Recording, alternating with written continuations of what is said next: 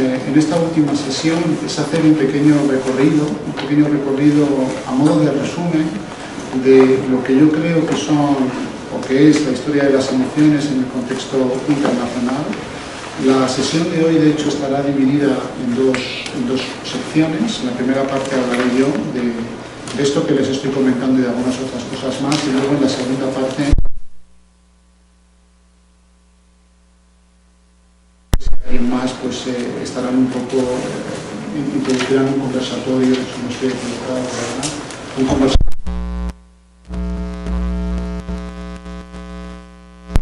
a futuro. Mi propósito es hablar durante una hora, una cosa así, y querría centrarme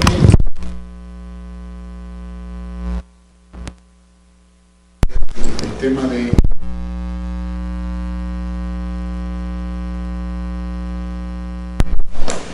sirva a modo de repaso de cosas que se han ido se han venido diciendo, no solamente yo, sino también otras, otras personas.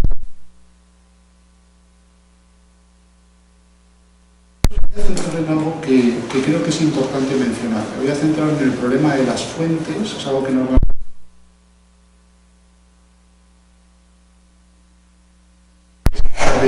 qué cabe utilizar, en qué medida eh, hay fuentes disponibles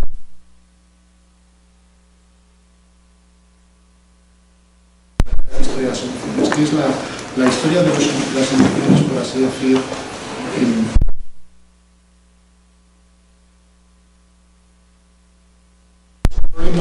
Voy a, voy a tratar muy brevemente algo que me parece muy interesante a modo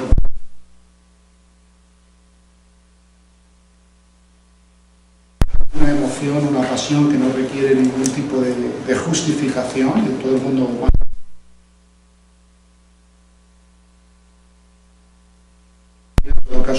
interpuesta sobre lo que es el amor, es una pasión que ha estado eh, con nosotros.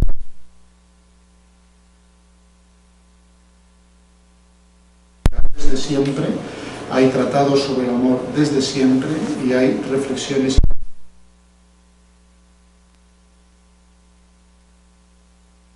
decir lo que es una, una historia del amor, pero yo voy a centrar solamente en lo que es el amor romántico.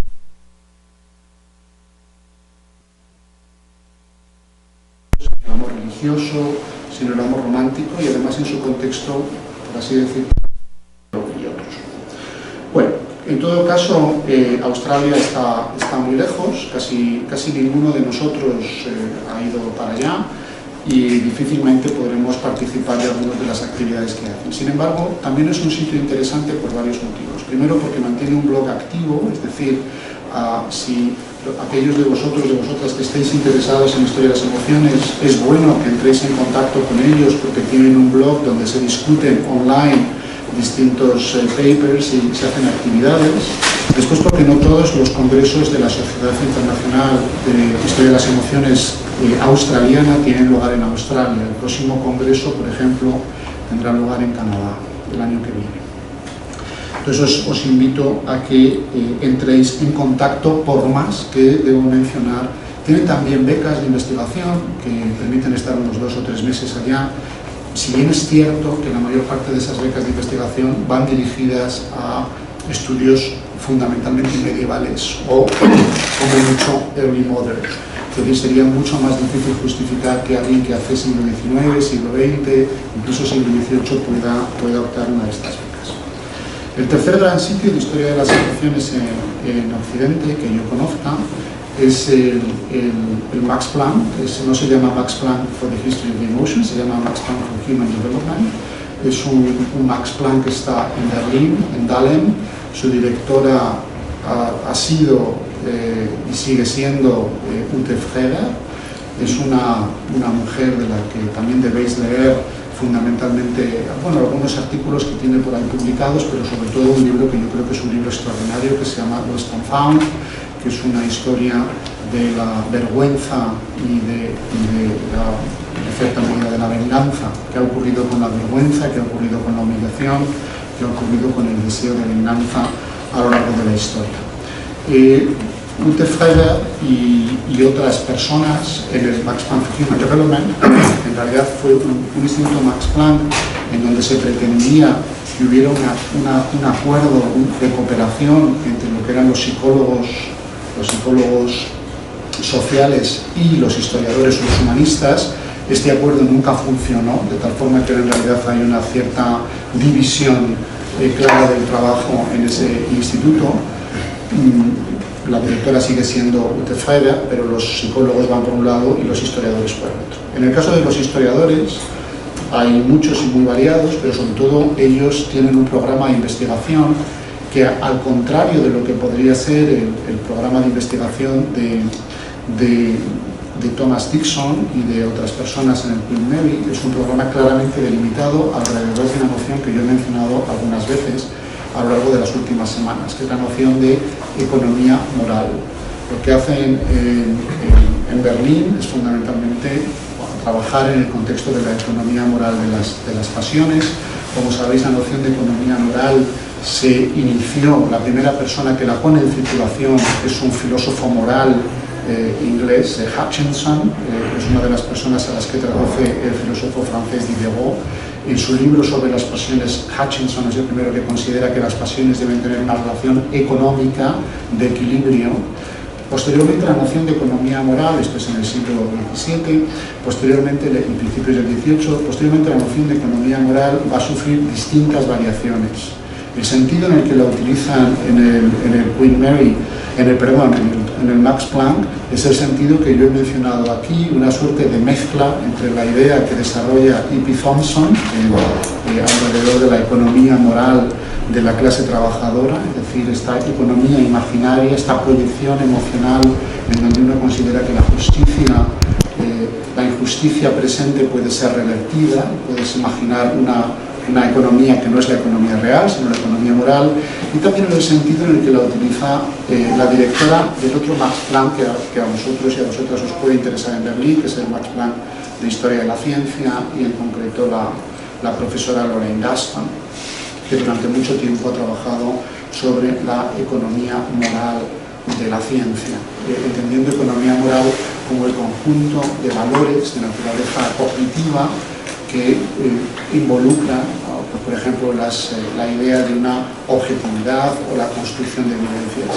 Es decir, frente a la visión clásica de que solamente de que en la, ciencia importaban solamente los hechos y otros valores de naturaleza cognitiva, eh, Lorraine Gaston y otros han sugerido la posibilidad de que exista también valores de naturaleza no epistémica junto con valores de naturaleza epistémica y la distinción entre ambos sea difícilmente eh. No son los únicos, eh, todas estas personas, incluyendo el Max Planck de Berlín, trabajan en lengua inglesa, por cierto que el Max Planck de Berlín trabaja también sobre algo que es muy interesante eh, y de lo que yo no he hablado nada, pero que tiene que ver con eh, un programa dedicado, junto con el de la economía moral, a la educación emocional, podríamos llamarlo así, educación emocional, en el sentido de cómo, si las emociones estamos todos de acuerdo en que son eh, modulaciones culturales, bueno, pues tiene que haber un momento en el que se pueda producir una cierta educación para que las personas entendamos lo que es el amor, lo que es el odio, lo que es la ira, lo que son las distintas emociones. Pero solamente hay dos formas de educación emocional, una es mediante cooptación y la otra es eh, mediante educación de la infancia. Normalmente el mecanismo que utiliza Max Planck para hablar de educación emocional es mediante estudios de la infancia. Entonces, estudian pues, desde cosas parecidas a los cuentos infantiles o las canciones infantiles como formas de educar y de eh, formar en el universo emocional a los niños. Hay otras maneras y hay, por supuesto, otro tipo de posibilidades. Lo digo que estos tres eh, centros de investigación que acabo de mencionar trabajan en lengua inglesa, también trabaja en lengua inglesa un nuevo centro muy interesante que acaba de abrir hace menos de un año en Finlandia, que es un centro sobre algo que a mí me viene más de cerca y en lo que creo un poco más, que es eh, un centro sobre teoría e historia de la experiencia, muy parecido a lo que hemos desarrollado en Madrid durante mucho tiempo. Es interesante que haya una, una, una deriva de esta historia de las emociones hacia una historia de la experiencia, porque como habéis visto a lo largo de estos, de estos de estos cursos, de estas sesiones de la cátedra, no todas las emociones ni todas las experiencias pueden ser consideradas experiencias de naturaleza solo emocional, sino eh, otras muchas cosas. ¿no? la enfermedad de cáncer de la que os hablaba la semana pasada de Ana María de Austria es una experiencia que es emocional, pero no es solo emocional y no puede ser considerada fácilmente dentro de una teoría de las pasiones o dentro de una historia de las pasiones o de las emociones simplemente. No sabríamos qué emoción o qué pasión se corresponde a esta experiencia compleja, salvo quizá pues esta dialéctica del miedo, la esperanza, pero también el asco eh, es interesante esa modificación, algunas personas ya llevábamos reivindicando que la palabra emoción o pasión era, no era de nuestro agrado, no era de nuestro agrado en muchos sentidos, y pretendíamos sustituirla por otra, que tampoco es que sea fácil, que es la palabra experiencia. Para quien quiera eh, tener una idea, me parece que ya lo mencioné, pero por si acaso, quien quiera saber cuáles son las dificultades con la palabra experiencia a lo de la historia del pensamiento occidental, yo creo que uno de los mejores libros es el de Martin Jay, escrito J-A-Y, un libro que se llama Las canciones de la experiencia, The Songs of Experience y es un, es un, buen libro para comenzar, para tener una cierta idea de qué ha ocurrido con la palabra experiencia, por qué nos parece que la palabra experiencia puede ser discutida. De todas las formas, las otras, emociones fundamentalmente, u otra que voy a mencionar ahora mismo, no carecen tampoco de dificultades. Todas estas en lengua inglesa. En el caso de, Francia es muy interesante lo que, ha, ocurrido porque en realidad Francia nunca tuvo un una cátedra de historia de las emociones, como la que vosotros y vosotros habéis tenido aquí, nunca hubo propiamente una tradición de historia de las emociones, ni siquiera la palabra era realmente, formaba parte del acervo cultural francés. Ellos hablaban más bien de una historia de las sensibilidades, así lo encontraréis muchas veces referido, eh, y bueno, lo que nosotros llamábamos en el resto de Europa historia de las emociones, en Francia se solía llamar historia de las sensibilidades, hasta este último libro publicado eh, por George Vigarello, un especialista en historia del cuerpo, que como todos estos libros pues es muy irregular. Tiene magníficos capítulos y magníficas secciones y otras no tanto. Ya veréis que en estos libros, como el que se hace ahora para Routledge o los que se preparan para, para Cambridge University Press, pues hay distintas facetas y formas de entender qué es lo que entendemos por emociones, pasiones y demás. Si hay un grupo de historia de las emociones, mucho antes de que yo os Vigarello llegara a, a este tema, que vino, o los historiadores del cuerpo llegaron al tema de las pasiones, que es el grupo que se conoce como EMMA, que son medievalistas franceses trabajando de nuevo en comunidades emocionales. Os preguntaréis, ¿y por qué hay tantos medievalistas trabajando sobre emociones? Esto es una pregunta eh, a la que no hemos dado respuesta, pero voy a intentar eh, bueno, satisfacer esa curiosidad. Hay tantos medievalistas trabajando sobre emociones por dos razones fundamentales. La primera de ellas tiene que ver con un elemento, una circunstancia de lo que podríamos considerar un hiato emocional, una ruptura emocional que se pone de moda durante los años 70, en donde se viene a decir que los medievales, las comunidades medievales, pues están compuestas por personas que tienen sentimientos, emociones o pasiones distintas a las, a las pasiones, emociones y sentimientos del mundo eh, moderno y sobre todo del mundo ilustrado. Aparecen muchos libros relacionados fundamentalmente con la historia de la familia o con la historia de la infancia. El más famoso de todos ellos es el de Philippe Ariès, el de, historia de la infancia, en donde se argumenta, por ejemplo, que los, eh, las familias medievales no tenían el mismo afecto paterno o materno filial que tenían después la familia que sería la familia burguesa. Es decir, que los padres, dada la tasa de mortandad infantil, pues no querían a los niños porque de todas las formas se les iban a morir. ¿no? Esto era un poco el argumento. Junto con otros argumentos también en este libro, la, obra de Philippe Ariès está discutidísima, discutidísima, toda ella. Tanto lo que es la, historia de la infancia como la historia de las actitudes ante la muerte, discutidísima. Eso no quiere decir que no haya que leerla, simplemente que sepáis que eh, una de las razones por las que incluso hay centros de investigación en, historia de las emociones en el mundo medieval es porque los medievalistas pues, discutieron mucho los elementos de discontinuidad en relación a lo que había ocurrido eh, en el tránsito al mundo Una de las personas que discutió también esto en relación al caso de la muerte fue justamente la medievalista muy conocida, Bárbara Rosenwein, de la que me habéis oído hablar eh, en relación al ámbito de las, la, expresión que ella misma ha introducido en la discusión sobre comunidades emocionales. Por cierto, que Bárbara Rosenwein ha publicado hace unos meses, cinco o seis meses, un libro que se llama, eh, que es la historia de las emociones, que es un libro eh, tiene dos libros interesantes para, para nuestros propósitos, uno de ellos el de las comunidades emocionales en el mundo medieval, que por supuesto esto ya pienso que ya lo conocéis y que es un libro ya antiguo, al que ahora voy a decir alguna cosa. Después el segundo libro que es interesante, no recuerdo el título, pero es una historia de las emociones, me parece que incluso se llama así, History of the Emotions, y es una historia de las emociones desde el mundo antiguo hasta finales de la Edad Media, llegando incluso al siglo XVI y XVII, creo que acaba en las emociones en el mundo moderno.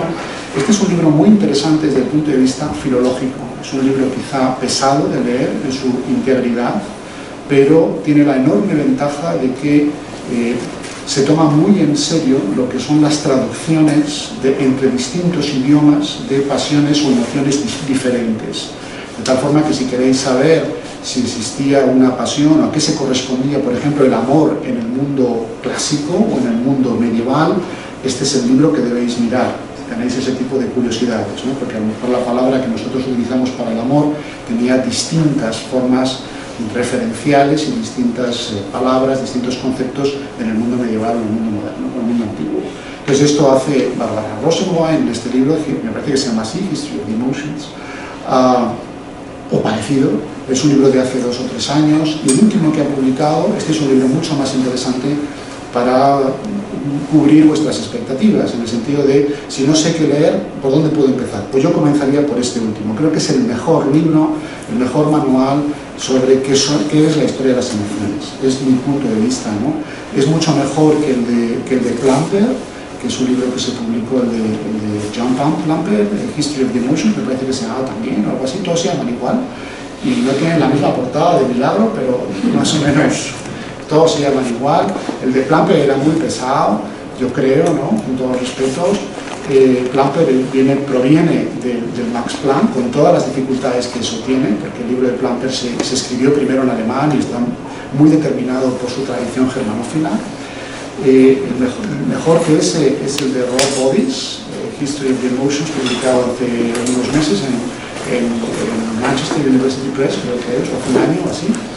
Este es un poco más interesante, desde el punto de vista, Bodies además es mucho más, eh, mucho más políglota, tiene una visión más amplia, es capaz de leer distintas lenguas, tiene una, es un hombre más, yo creo que más interesante, en mi juicio, ¿no?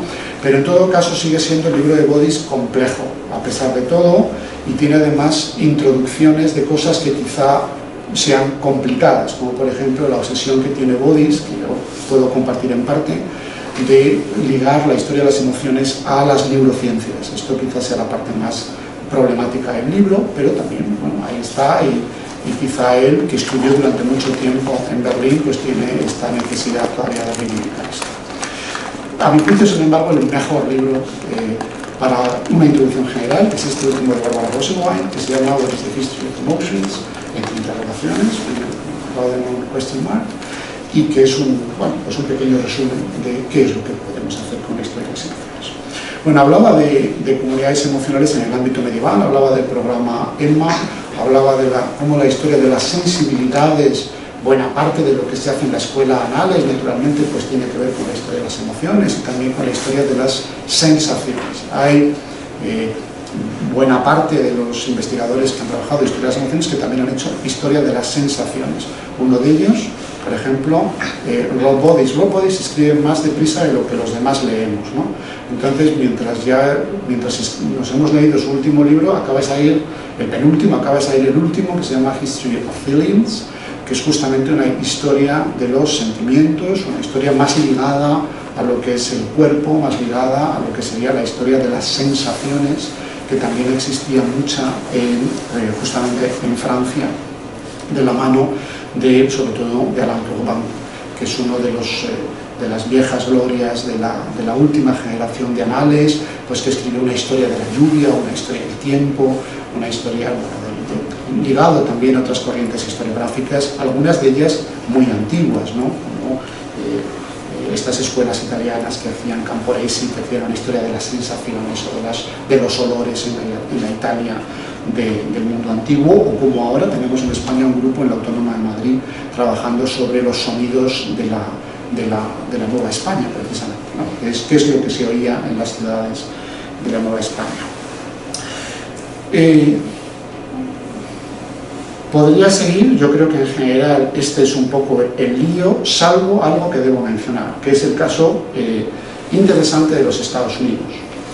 Debo mencionar el caso interesante de los Estados Unidos por dos motivos. Primero, para intentar clarificar algo que yo creo que es importante, que seguro que, que ha quedado claro a lo largo de, los, de, los, de la cátedra, que es eh, la palabra eh, afecto. La palabra afecto, de hecho en castellano o en español, es una palabra ya complicada, es una palabra de, de historia complicada en, en, lengua inglesa y en el uso que se le da en, el, en la expresión affect theory es eh, todavía más complicado y requiere una pequeña clarificación.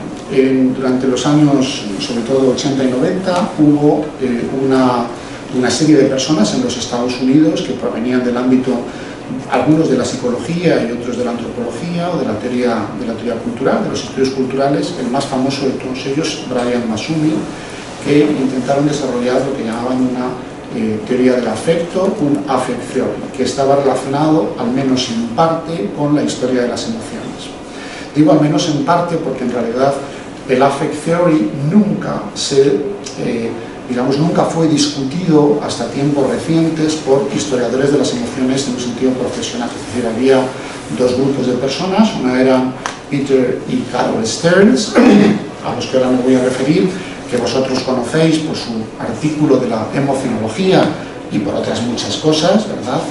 De hecho, Carol Stearns desapareció ya del mapa, pero Peter Stearns sigue ahí en la Universidad de Virginia, dale que te pego, ahora con un nuevo proyecto de eh, una sociedad eh, norteamericana de historia de las emociones. En todo caso, hasta tiempos muy recientes, los historiadores de las emociones norteamericanos vinieron del ámbito de la historia, como Peter Stearns, vinieron del ámbito de la filología, vinieron del ámbito de la crítica literaria, no se relacionaban apenas con lo que se llamaba affect.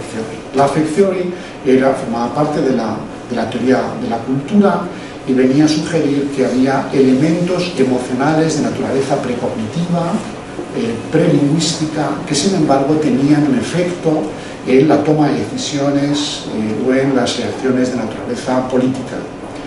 Esto es lo que estudiaba Brian Masumi, esto es lo que estudiaban algunos eh, representantes de la afección. Eh, uno de los textos que debe estar en el, en el, en el en el sílabus, y si no está, pues yo os invito a que lo veáis, es un texto muy interesante de una, de una, de una eh, historiadora de las emociones que se llama Ruth Leis, que se llama eh, Affect Theory and Critique.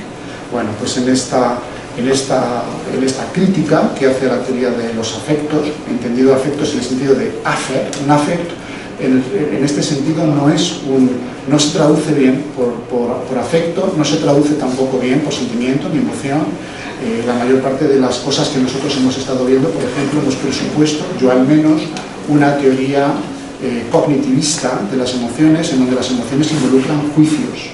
Es decir, yo estoy celoso porque creo que me están engañando, o estoy iracundo porque creo que he sido eh, humillado o estoy indignado porque creo que alguien tiene aquello que no merece, o siento compasión porque creo que estos tienen también algo que no merecen en un sentido negativo. Es decir, lo que he ido defendiendo todo el tiempo es una imbricación mucho mayor entre emociones y juicios, entre emociones y racionalidades y por supuesto la verbalización de las emociones iba de la mano.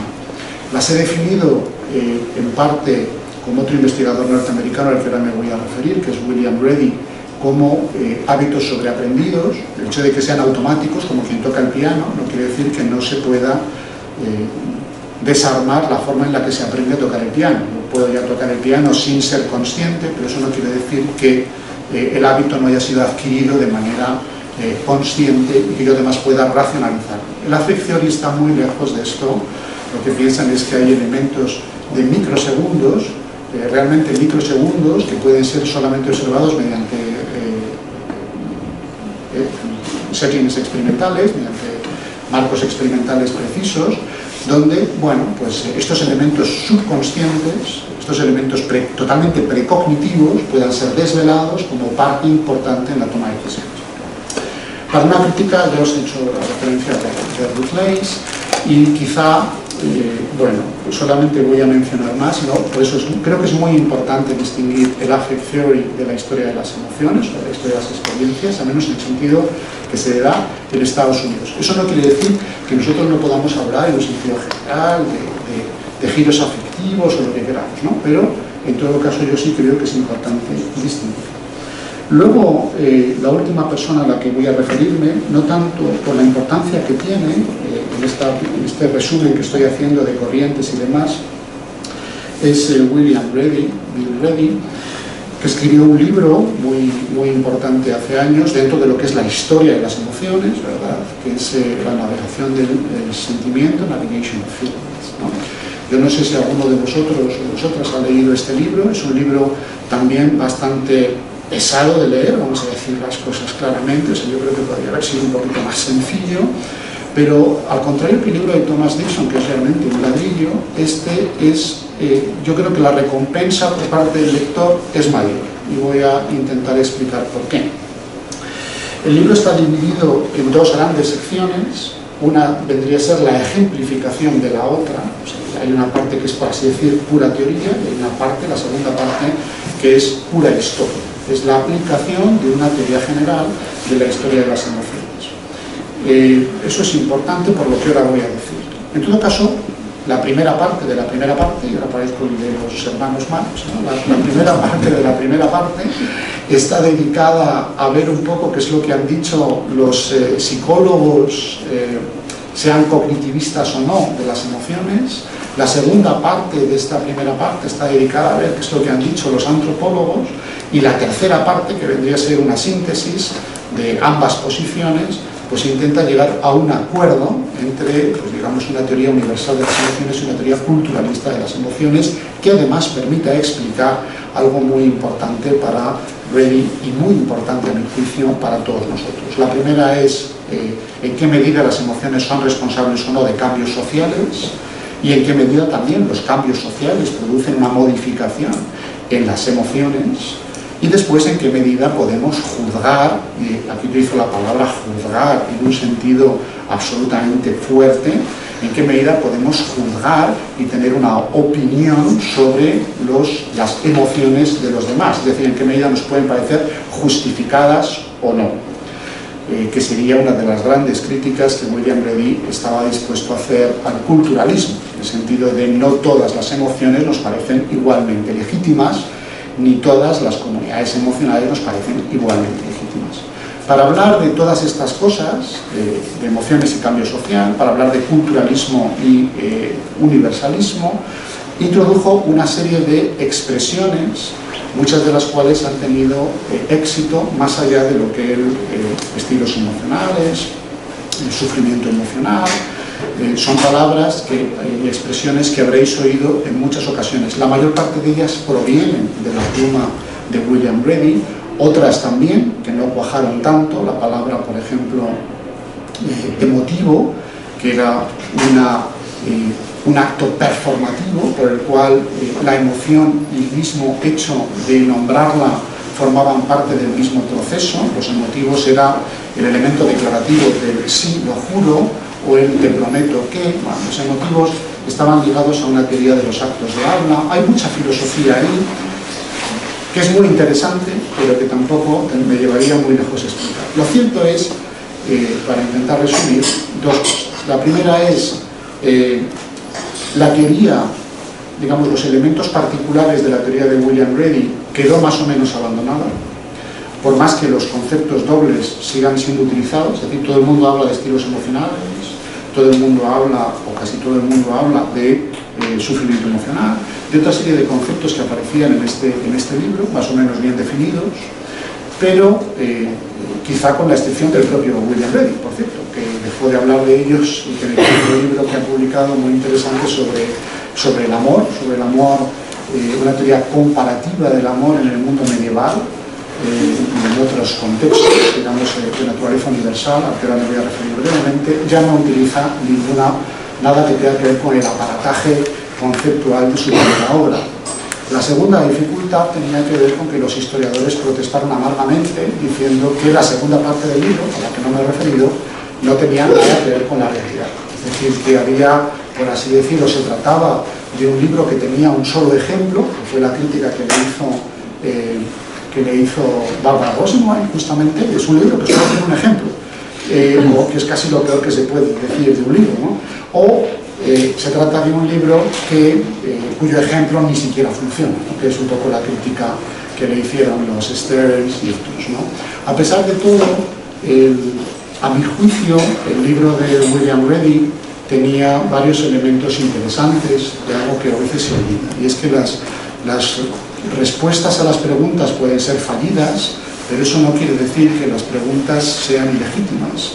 Es decir, la, pregunta que se planteaba William Reddy sobre cuál es la posibilidad de explicar la relación que hay entre emociones y cambio social, que era la misma pregunta que se hacían los Stearns en el artículo seminal este de 1980 y tantos, esa pregunta sigue siendo, a mi juicio, enormemente enormemente ¿Cuál es? De hecho, para mí es la pregunta que debemos plantearnos en una historia de las emociones a futuro. Es mi opinión esto es, no es lo que sé, es lo que yo siento, que es por donde creo que debe ir la investigación en historia de las emociones.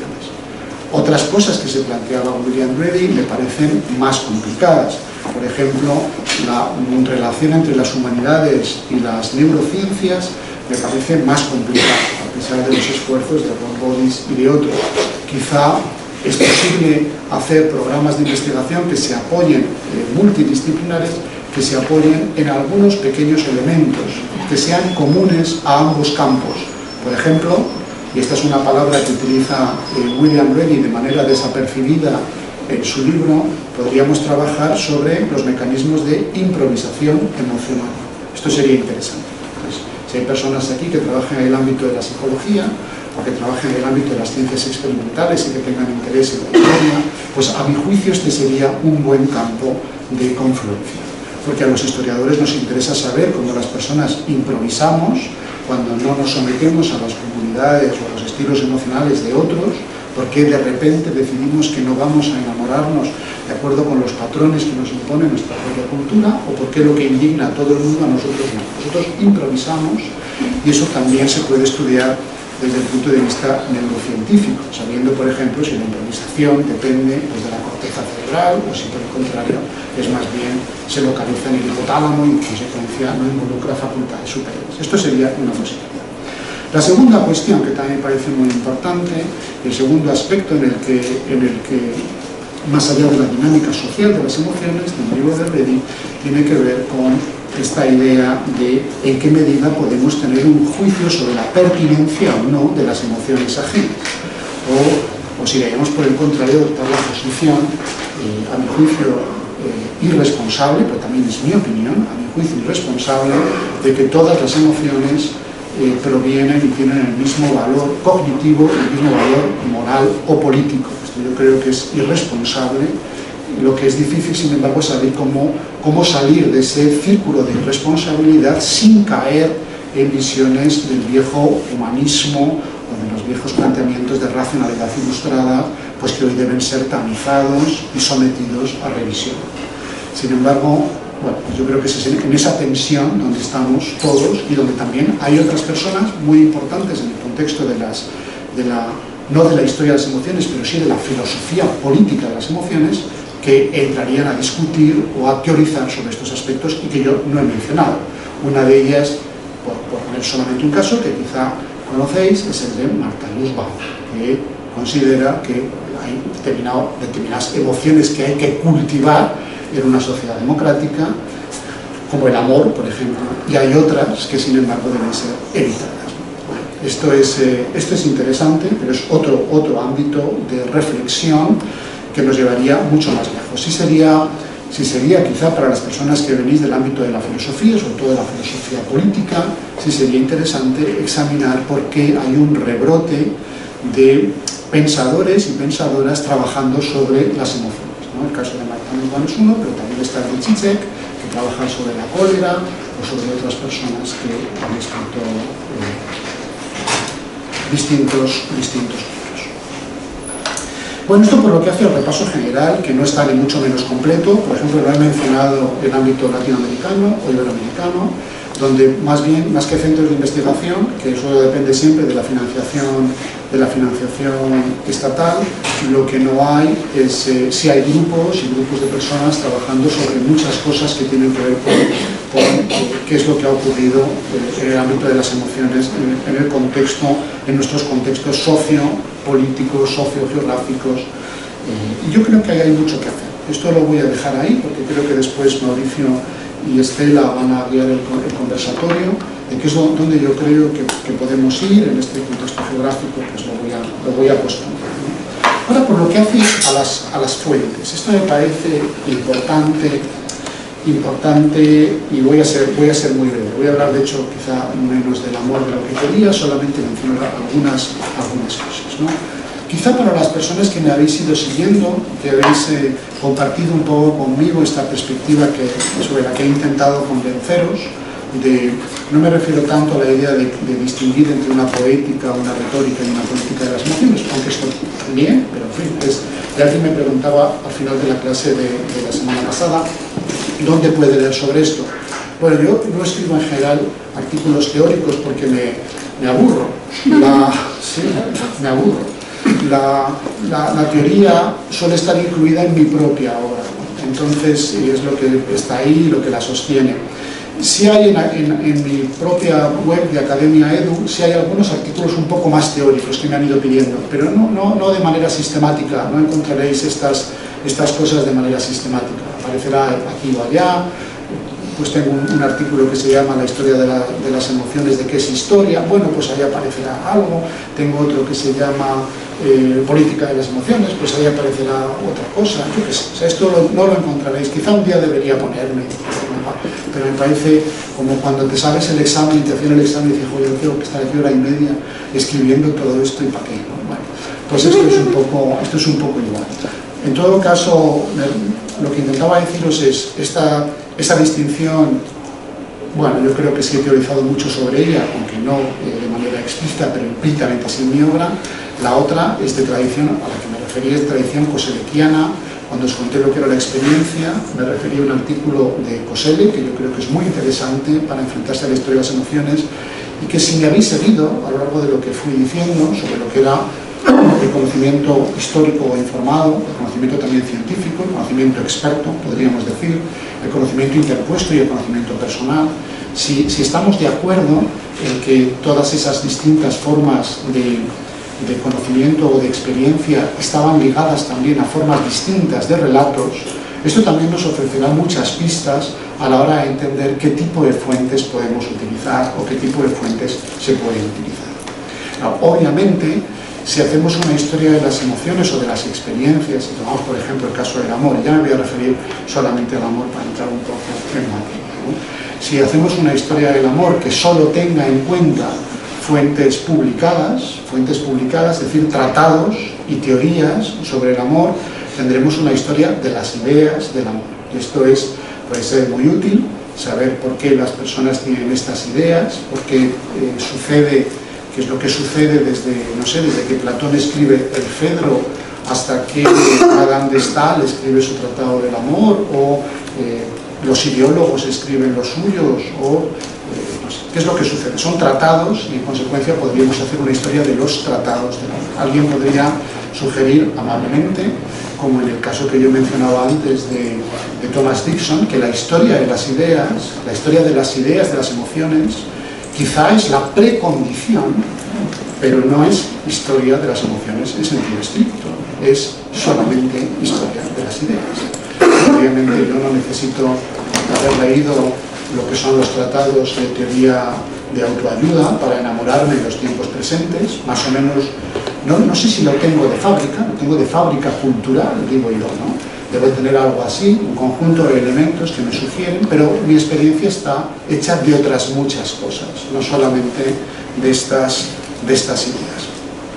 La historia de las ideas, sin embargo, tiene una ventaja, y esta no hay que despreciarla.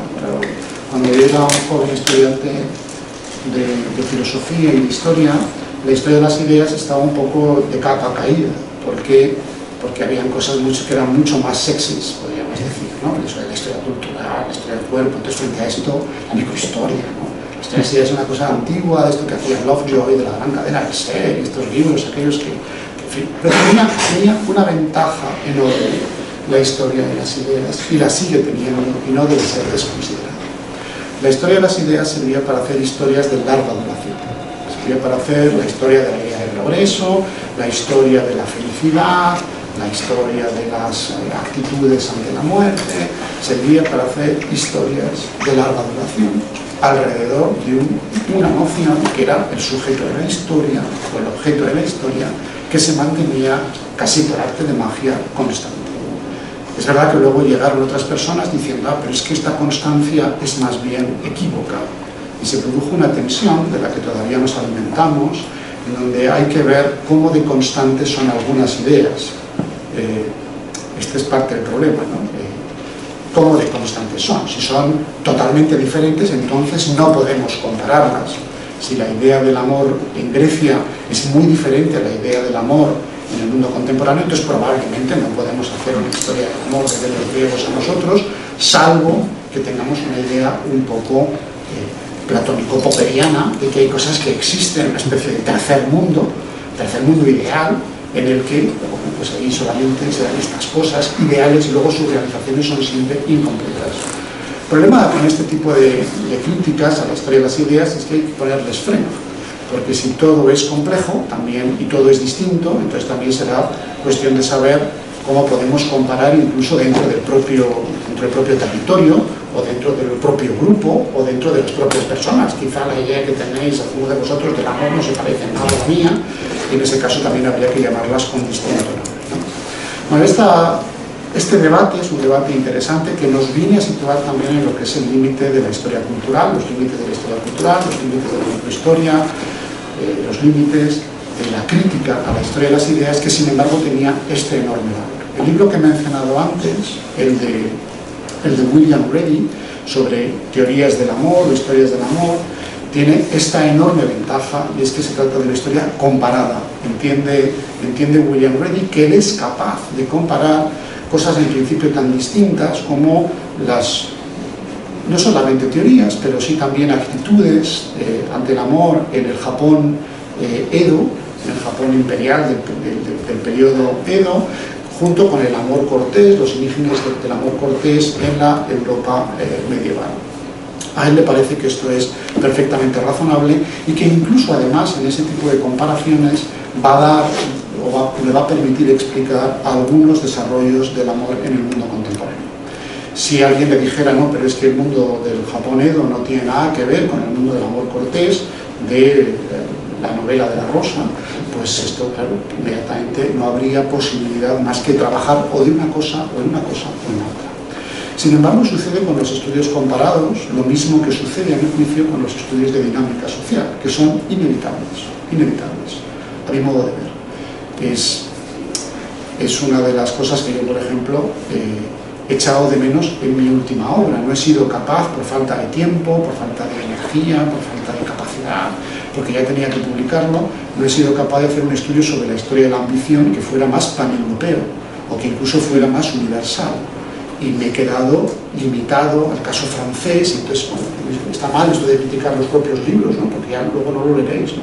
Pero, pero yo creo que es importante que haya una, un esfuerzo o bien de, de, comparación entre el antes y el después, o bien un esfuerzo de comparación entre cosas distintas, de tal forma que podamos tener una idea un poquito más eh, equilibrada.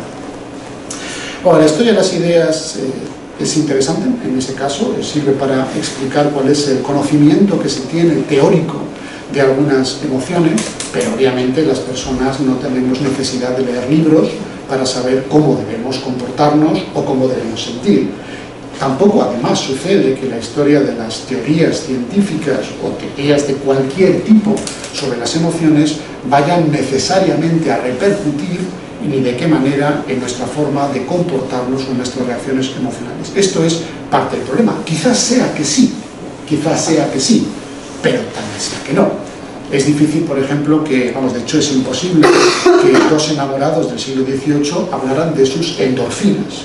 Y sin embargo, pues esto es una cosa que ahora podemos hacer con absoluta normalidad. Es que lo que me hacen falta son endorfinas y, cosas de estas, entonces solamente me las puedes producir tú, mía. Bueno, esta, idea de, las endorfinas o de, otro tipo de hormonas que van ligadas a nuestro conocimiento de, los mecanismos eh, del propio sistema eh, simpático y parasimpático, de nuestras formas de relacionarnos con el cuerpo y nuestro entorno, pues quizá tengan una relevancia en nuestra forma de comprender nuestras emociones en el mundo contemporáneo. Quizá en otros habría que ver de qué otra, forma. Pero en todo caso forman parte de, no son la, respuesta, sino que son más bien la pregunta. En qué medida la pregunta debe ser eh, colocada y debe ser respondida. Otra segunda posibilidad dentro de lo que tiene que ver con, con, las fuentes es, bueno, no nos vamos a referir tanto a fuentes eh, eh, publicadas o a fuentes publicadas que traten específicamente, específicamente sobre el problema del amor, sino que vamos a, tratar con otras fuentes que quizá traten de manera indirecta sobre el tema del amor.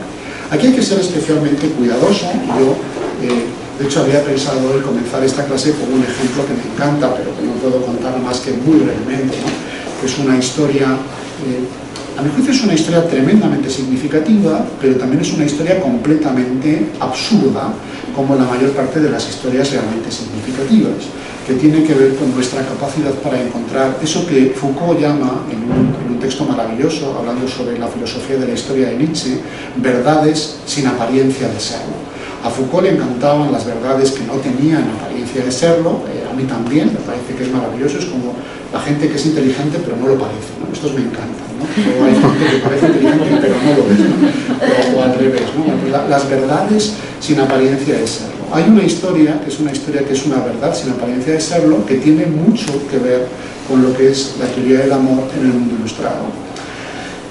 Es una historia que yo he, de la que he escrito un poco, aparece referida en mi libro y si a alguien le interesa escribí todo un artículo sobre ella eh, hace mucho tiempo, cuando yo me dedicaba a estas cosas de manera sistemática.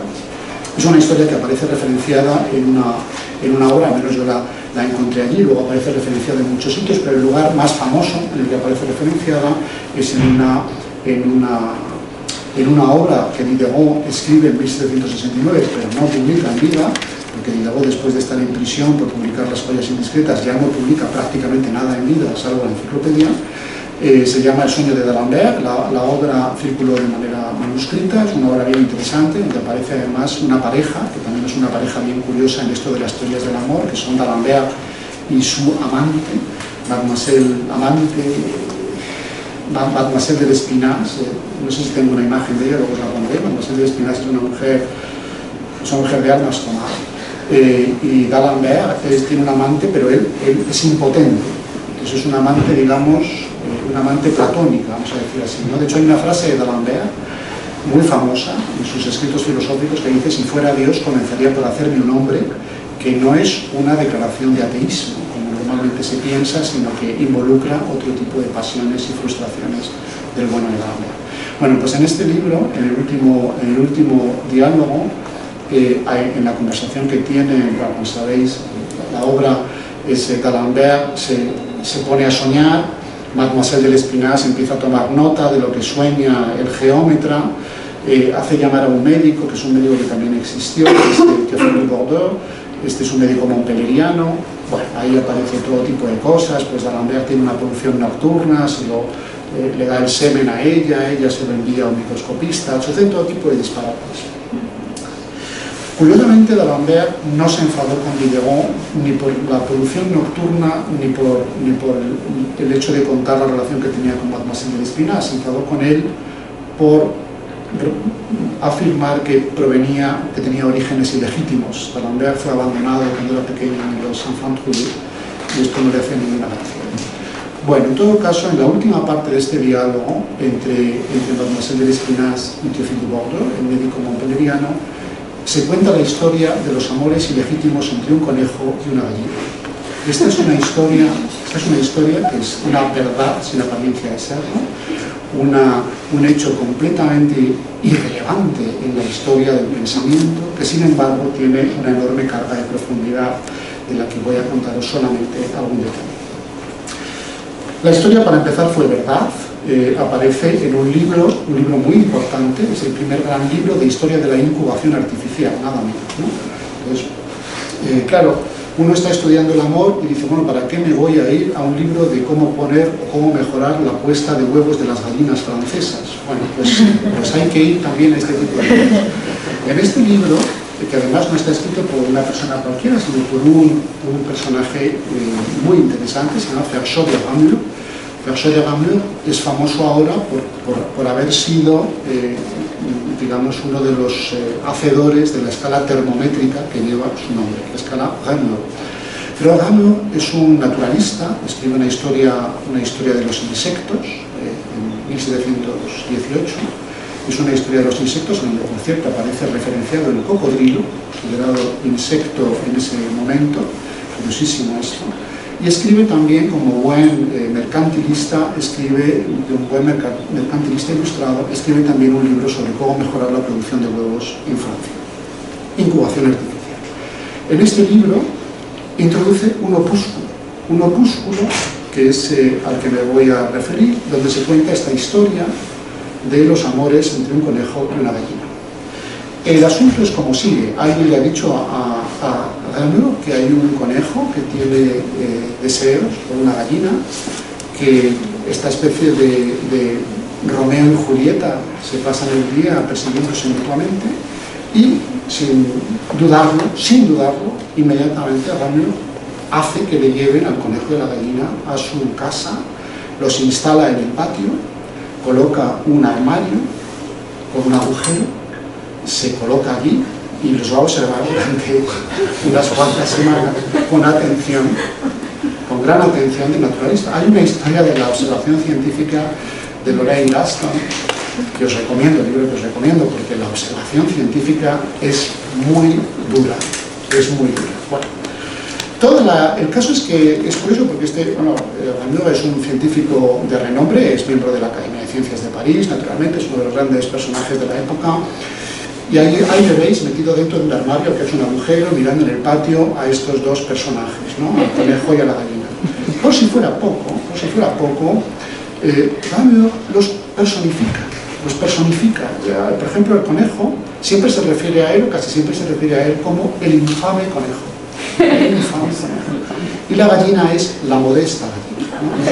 La diferencia característica entre ambos también es muy interesante, porque el infame conejo pues es un, es un divertido, ¿no? piensa, solo piensa en comer sus zanahorias y perseguir a la gallina. Y la gallina, la gallina, por el contrario, que es muy modesta, no, no tiene menor interés en el conejo, es una gallina descrita en términos de, ilustrada, ¿no? Pues, la gallina explora el territorio, se preocupa de otras cosas. Esta historia es muy interesante desde el punto de vista de, de de Ramure y es muy, interesante, es muy interesante para él, es muy interesante desde, en el contexto del naturalismo ilustrado, es muy interesante en la medida en que también pone sobre la mesa qué es lo que permite la unión de las especies, qué es lo que permite las populaciones, qué es lo que permite distinguir entre una verdadera copulación, una falsa copulación, y además, como vais a ver enseguida, pues el, tema es realmente interesante desde muchos puntos de vista. ¿no? Uno de ellos es la similitud que hay entre esta escena y otras escenas propias de la literatura libertina, quizá las más famosas de todas ellas, eh, que se dan en Teresa Filósofa, que es una novela eh, hecha eh, bueno, un poco como en tono de burla de la vida de Santa Teresa de Ávila, donde en lugar de Teresa de Ávila pues hay una filósofa que va a aprender realmente cuál es el ejercicio de su, de su verdadera virtud a través de los amoríos que tiene con un individuo que es un cura con el que no debería tenerlos. ¿no? Entonces hay un personaje, narrador, que también se oculta dentro de un armario y que también pues mira por, una cerradura o por un agujero en el armario los amores también ilegítimos entre estas dos, entre esta extraña pareja, ¿no? esta pareja que nunca debió realmente juntarse. Esa es la primera cuestión. La segunda tiene que ver naturalmente con lo que es la proliferación de lo que podría ser la literatura eh, anti-Pamela, lo que se ha llamado la literatura anti-Pamela. Sabéis, Pamela es una novela de Samuel Richardson, donde hay una joven que está continuamente siendo perseguida por la persona para la que trabaja, por el infame conejo, podríamos decir, y que sin embargo ella se resiste durante toda la novela. Es una novela muy cansina de leer, pero que sin embargo también os invito a que leáis porque es eh, eh, tremendamente significativa del mundo. Pamela es uno de los grandes hitos, de los grandes bestsellers de la ilustración. En todo caso, hay una enorme similitud entre Pamela y la gallina, igual que hay una similitud extraordinaria entre el conejo y el protagonista, tanto de Pamela como el protagonista de una obra muy del momento, que es eh, eh, las amistades peligrosas. El conejo es casi el vizconde de Batman, que como sabéis tiene, tiene esta teoría, que es una teoría eh, newtoniana, de aplicación de las leyes de Newton a las leyes amatorias, que es que el placer es inversamente proporcional a la dificultad de conseguirlo. Entonces, es lo que mueve realmente toda la, trama de las amistades peligrosas y la que mueve naturalmente al conejo, que cuanto más se resiste la gallina, pues más está él interesado en este, en este asunto. Para François de Rameau eh, el asunto es, eh, eh, es diferente, en parte, porque él lo que quiere saber es si es posible o no que exista una verdadera copulación y si es posible que después de esa copulación, que al parecer se produce, eh, tengo luego una imagen de conejos y gallinas que os voy a enseñar muy brevemente para que nadie se escandalice, si en todo caso, bueno, pues Gamel quiere saber si, en caso de que existiera una verdadera copulación, si nacerían gallinas con pelo de conejo o conejos con plumas, ¿no? Y esto le preocupa especialmente. Y le preocupa especialmente, y aquí viene la parte política, porque él, como buen naturalista de mediados del siglo XVIII, está convencido que las especies naturales son fijas. Está convencido que las especies son fijas. Y no solamente las especies son fijas, sino que además la fijicidad de las especies es lo que, viene determinada por la creación divina y por la incapacidad de la materia para producir nuevos seres por medio de mecanismos de hibridación, es lo que garantiza el orden. Garantiza el orden natural y garantiza también el orden social. Es decir, si las especies son fijas, los estamentos sociales también lo son. Y si las especies no fueran fijas, entonces obviamente esto sería el caos. Aquí podría suceder que cualquiera podría copular falsamente con cualquiera y tendríamos un conjunto de clases intermedias que no harían sino revertir el orden natural y el orden social, el orden político. Esta es una de las razones por las que eh, durante la segunda mitad del siglo XVIII se puso tan de moda entre los filósofos que podríamos considerar más revolucionarios y entre algunos otros escritores que podríamos considerar más revolucionarios la idea de defender la hibridación de todas las especies. La hibridación de todas las especies. El caso más famoso que os invito a que leáis es el de un pornógrafo, de hecho la palabra pornografía la acuñó él, que es Rétif de la Breton, y Rétif de la Breton escribe un libro, escribe muchos libros donde, para empezar, se inventa todas las palabras, porque las hibrida, considera que igual que hay falsas copulaciones en la naturaleza, tiene que haber falsas copulaciones en el lenguaje, que ya está bien que las palabras sean fijas, que no tiene por qué haber ni palabras ni especies fijas, y que más bien lo que tiene que ocurrir es defender la posibilidad de la creación de especies intermedias, de clases medias, diríamos hoy en día. Esta posibilidad de las clases medias, copulan eh, provenientes de especies, estamentos o lugares muy diferentes, es el gran problema del amor romántico o uno de los grandes problemas del amor romántico ligado a un acontecimiento político que es la Revolución Democrática. Los conejos y las gallinas se parecen de Gamero de 1748, popularizados en 1769 por Diderot, en suya de se parecen mucho a eh, los resultados de la populación entre mujeres y monos, que por ejemplo defiende, defiende Retit de la Breton en un libro que se llama Las Memorias de César Malaca, donde César Malaca es un, híbrido, es el nuevo representante de esta nueva especie que no, eh, que no defiende ni tolera las prerrogativas ni de Dios ni las leyes de la naturaleza, o las supuestas leyes de la naturaleza, y que por el contrario se presenta a sí mismo como el claro ejemplo de que es posible construir un mundo distinto porque las especies naturales se mezclan.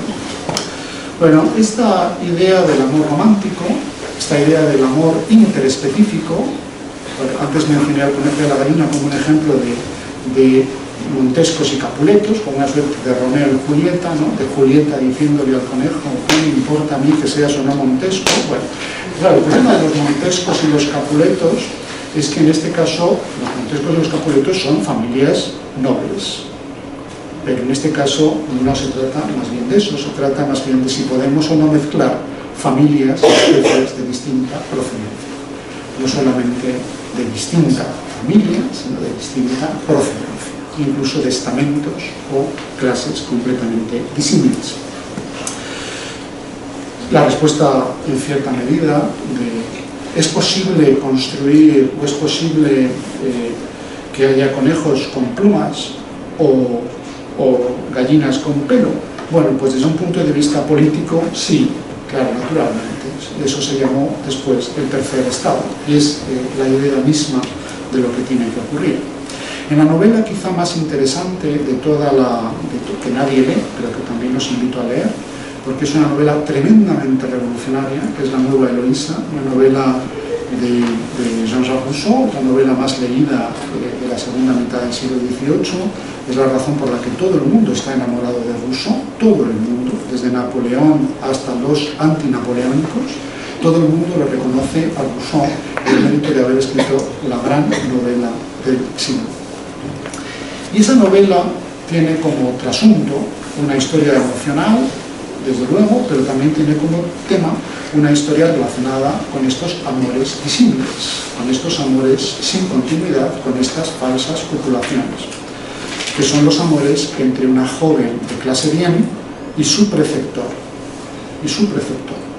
Por cierto, este, este debate sobre si Rousseau es misógino o no es un debate interesantísimo, sobre el que merece mucho la pena quizá incidir. Yo no lo voy, a dejar ahí, no voy a decir nada más.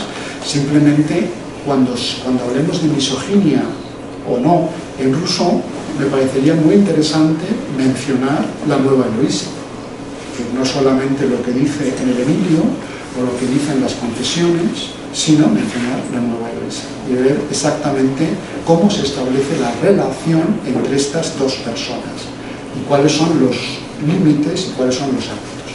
Bueno, todo esto venía al caso de nuevas fuentes, y voy a acabar en 10 minutos, eh, no puedo decir casi nada más, voy a acabar en 10-15 minutos este tema del amor romántico y voy a ceder el paso también a mis colegas para que tengamos aquí nuestro conversatorio.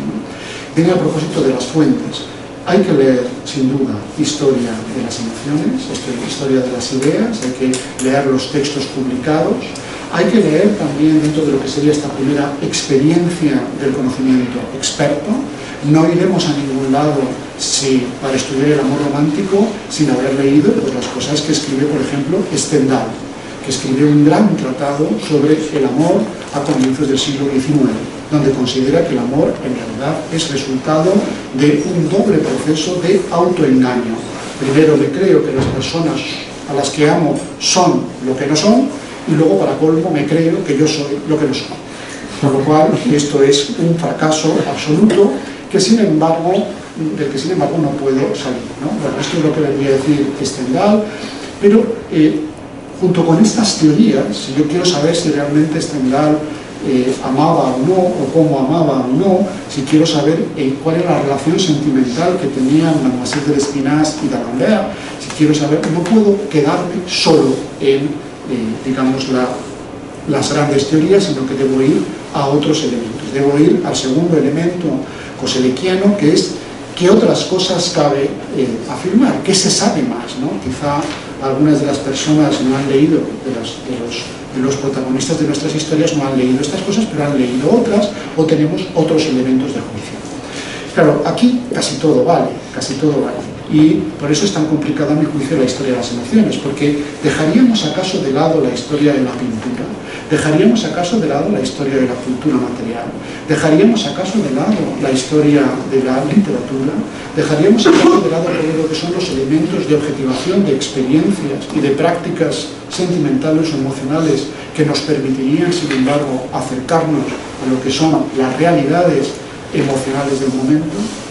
Voy a poner, para acabar, un solo ejemplo que es, eh, a mi juicio, interesante y que tiene que ver con dos problemas grandes que, en cierta medida, hemos heredado. El primer problema al que se enfrenta el amor romántico como parte de la revolución democrática, porque no hay que olvidarse que el amor romántico forma parte de la revolución democrática, es decir, este denostado amor romántico elimina de facto la idea de que uno debe casarse por interés, por interés, digamos, el interés de perpetuación del orden estamental, entonces se acaba con la idea del matrimonio eh, endógeno, luego empieza a casarse por amor, igual que eh, empieza a dedicarse a una profesión por vocación. Esta idea de la revolución democrática, yo me caso con quien me da la gana y trabajo en lo que quiero, no debe nunca perderse de vista. Ahora bien, esto genera dos problemas muy importantes, y son dos problemas que hemos heredado y que no hemos conseguido todavía resolver. El primero de estos problemas tiene que ver con, una, con la gran palabra del nuevo amor, que es el nuevo régimen de confianza. ¿Cómo voy a saber si ya no me caso por interés, si mi matrimonio no está acordado, si mi relación sentimental no me viene dada por una relación de fuerza, que por ejemplo mis padres ejercen sobre mí, si no puedo, si puedo elegir, y en principio elijo a la persona a la que quiero para establecer el vínculo sentimental que sea, que no tiene por qué ser, por cierto, ni un vínculo sexual, ni un vínculo matrimonial, ¿cómo puedo confiar en él o en ella? ¿Cuál es el nuevo pacto eh, de eh, confianza que cabe establecer? Esto es muy interesante por ejemplo, de nuevo, si puedo mencionar el caso de Rousseau, igual que hay un problema de Adam Smith, hay un problema de Rousseau, de por qué Rousseau escribe dos libros tan distintos como El contrato social y La nueva Luisa. Bueno, pues tenéis un poco la idea de, bueno, pues junto con el pacto social necesario para, eh, bueno, en todo caso vivir en, en, armonía, necesitamos un pacto emocional, necesitamos un nuevo régimen provisorio que nos permita asegurarnos de que los demás no nos engañan y que nosotros no engañamos a los demás. Ese sería el, primer, el segundo problema. El primero, anterior, es ¿y cómo sé que voy a elegir bien? ¿Cómo sé que voy a elegir bien? Y aquí viene eh, una teoría fascinante, de la que todavía no nos hemos recuperado, que es la teoría del flechazo. No, hay amor romántico que no provenga del flechazo. El flechazo, que es como casi una, una un subproducto de la afección, porque se produce de manera precognitiva, prelingüística, inmediatamente uno reconoce a la persona a la que va a amar el resto de sus días, sin dudar. ¿no? hay ninguno de estos amores que pudiera mencionaros que no se deba al flechazo, las novelas están llenas de amores, de hecho no es, no es eh, no sé, por mencionar solamente un caso que a mí me gusta especialmente, para quienes hayáis leído Los Miserables, eh, recordaréis que los amores entre Cosette y el joven, que no recuerdo cómo se llama, se producen en el jardín de Luxemburgo, mirándose, jugando a renacer, con te levantas, ahora te miro, pero no se dicen nada, de hecho no se, no se sabe ni cómo se llaman. Cuando la otra pierde el pañuelo, él se cree que se llama como la inicial, que en realidad es la inicial de su padre, otro disparate. ¿no? Pero este es el amor romántico, este es el amor del flechazo, que es también un intento por justificar cuál es eh, la razón del sentimiento de atracción, del sentimiento de atracción sentimental. Hay muchas teorías que se ponen encima de la mesa, eh, teorías eh, como la de Maupertuis, que pensaba que el amor era newtoniano también, pero no en el sentido del vizconde de Valmont, sino en el sentido de los amantes se querrán más cuanto mayores sean sus masas y menores sus distancias, ¿verdad? Es la ley inverso del cuadrado aplicado a la relación sentimental. Es estemos gordos y juntos, esto nos hará felices, ¿no? Y si estamos flacos y separados, pues tendremos muchas posibilidades de que nuestra relación acabe mal, ¿no? O eh, este otro personaje que escribe El magnetizador amoroso, ¿no? Un libro fascinante, ¿no? Sobre, bueno, cómo en realidad los varones estamos dotados de, un, de una brújula, como os voy a decir dónde está, que señala el norte de nuestras pasiones más, eh, nuestras pasiones, y esta idea de en realidad el amor es un fluido magnético que inmediatamente señala. Este tipo de cosas son interesantes, la idea del amor platónico es mucho más compleja de la que yo voy a, de la que puedo mencionar aquí, no es ninguna broma, es un intento de dar respuesta a cómo debe ser tratado el amor en el ámbito de la nueva, del nuevo ejercicio de libertad. En consecuencia, y para volver y acabar con las fuentes, fuentes eh, publicadas, desde luego, pero no solamente fuentes escritas, fuentes literarias, fuentes iconográficas, fuentes propias de la cultura material. No he hablado, por ejemplo, de, la, de todo este nuevo régimen promisorio cómo se pone de moda escribir corazones en los árboles, o cómo se pone de moda enviar flores que tienen que ser renovadas, eh, al contrario que los diamantes que son para siempre, la flor se marchita, tienes que mandar más, ¿no? Ya sabéis que es lo que hay que hacer en caso de que se os haya olvidado. No basta con darle flores a tu enamorada o a tu enamorado un día, tienes que enviárselas sistemáticamente, ¿no? O como Mademoiselle de Espinás, que le pedía al Marqués de Mora que le enviara continuamente cartas, ¿no? Diciéndole como si fueran mensajes de texto.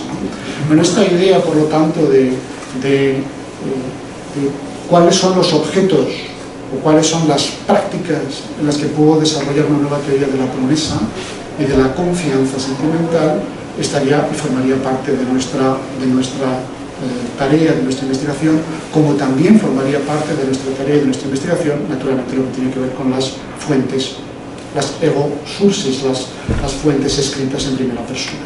Bien entendido, sin embargo, que las fuentes escritas en primera persona no necesariamente, no necesariamente tienen que ser fuentes confiables, porque puede haber infinidad de razones por las que uno, como decía Stendhal, se engañe en relación a los demás o también en relación a uno mismo.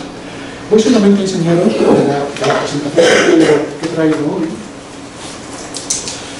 Voy solamente a enseñaros una, y con esto, con esto acabo, una de las imágenes eh, se llama Bueno, este problema de cómo puedo distinguir, cómo puedo distinguir a la eh, y saber a ciencia cierta que estoy eligiendo de manera correcta, tiene dos posibilidades. ¿no? La primera posibilidad es eh, elegiría la persona correcta en la medida en que se parezca por un régimen casi platónico a la imagen prototípica o estereotipada que tengo de la figura de la persona enamorada, sobre todo, sobre todo en el gesto. Entonces esto, por ejemplo, para los que leáis literatura, literatura de entonces, veréis que en las novelas de Balzac pues la mayor parte de los protagonistas se enamoran de alguien porque se parece a alguien que aparece en un cuadro, se parecen a un cuadro que toman como elemento prototípico. Esa mirada, esa, ese gesto, esa, esa actitud, es la actitud que refleja la persona a la que en realidad los enamorados tienen que parecerse, si es que quieren que, uno, que los demás se enamoren de ellos. Un poco parecido también a lo que sucede ahora, ¿no? donde uno se viste, se arregla, se coloca en una posición, por así decir, de ojo, que me parezco a. ¿no? La segunda posibilidad es eh, mediante tratados, leyendo tratados de fisionómica, como este que os voy a enseñar, y con esto voy a acabar, que me parece uno de los eh, ejemplos más simpáticos de la aplicación de la cultura visual a la historia de las emociones. Este tratadito es, de una, es un anónimo en donde la persona que lo escribe hace una serie de bocetos, de caras, de expresiones faciales, sugiriendo con quién, dependiendo de a quién se parezca uno dentro de los bocetos que ella hace, sugiriendo con quién tiene que emparejarse y con quién no. Es decir, pues la persona que tenga este tipo de expresión claramente no puede emparejarse con esta otra o así sucesivamente. Es un texto muy, muy curioso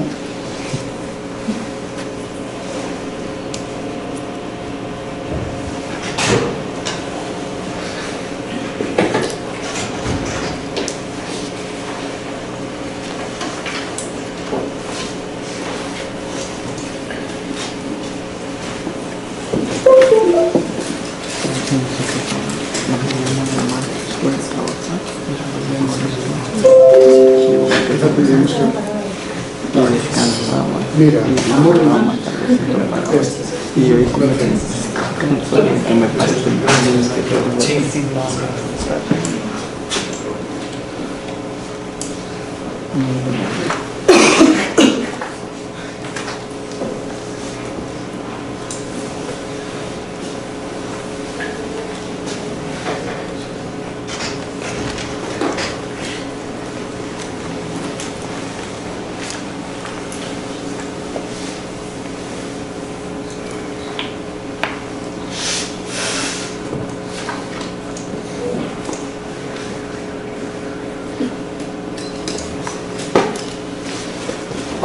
he traído unas cuantas imágenes eh, un poco para ilustrar este tipo de cosas, ¿no? yo creo que las, las, imágenes se ven bien y en este tipo de cursos funcionan bien.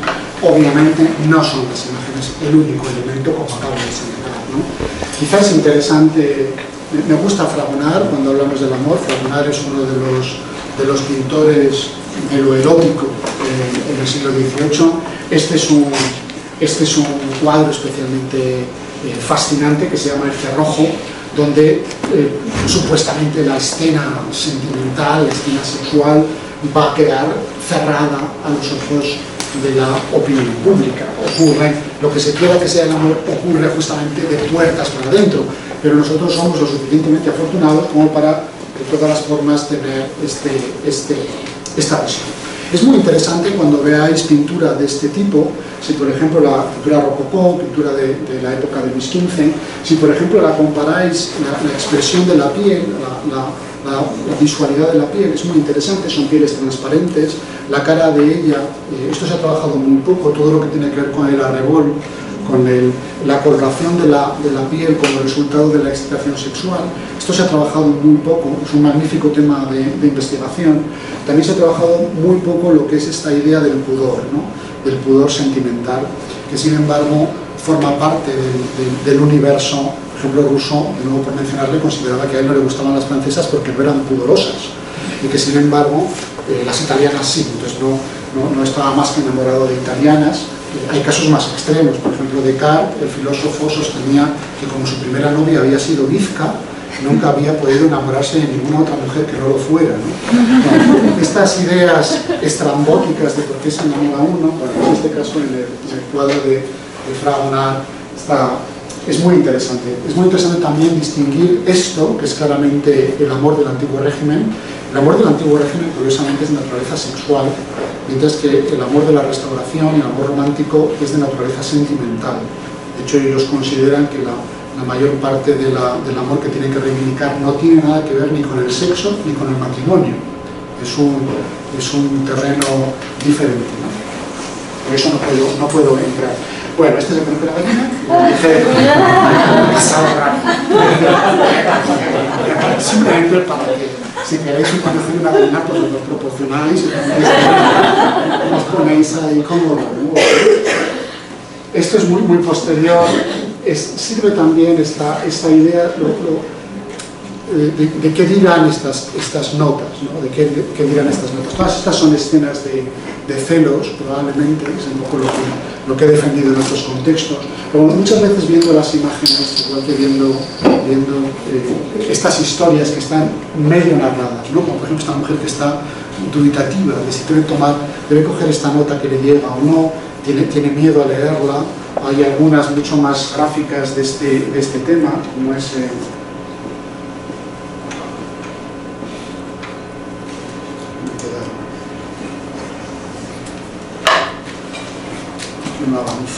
Ah, esta.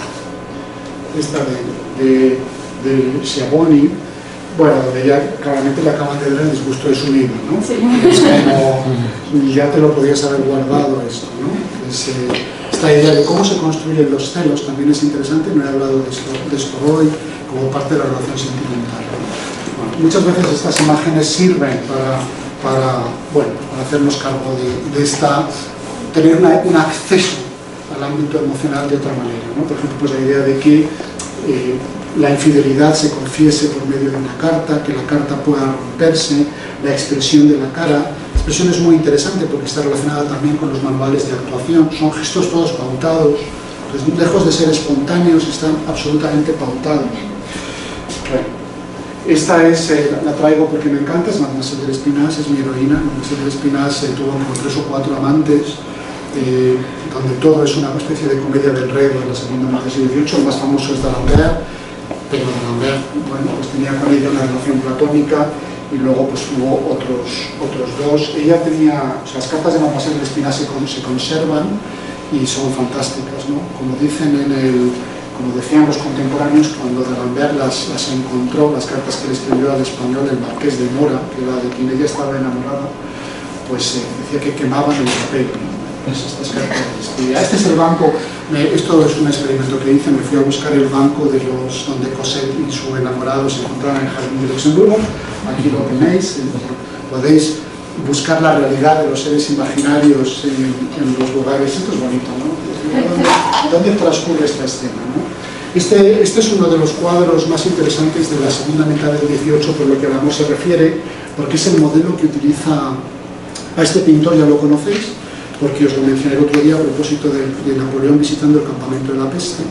Pero bueno, en este caso se trata de que cada vez que Balzac quiere hacer referencia a una mujer de la que haya que enamorarse, este es el modelo.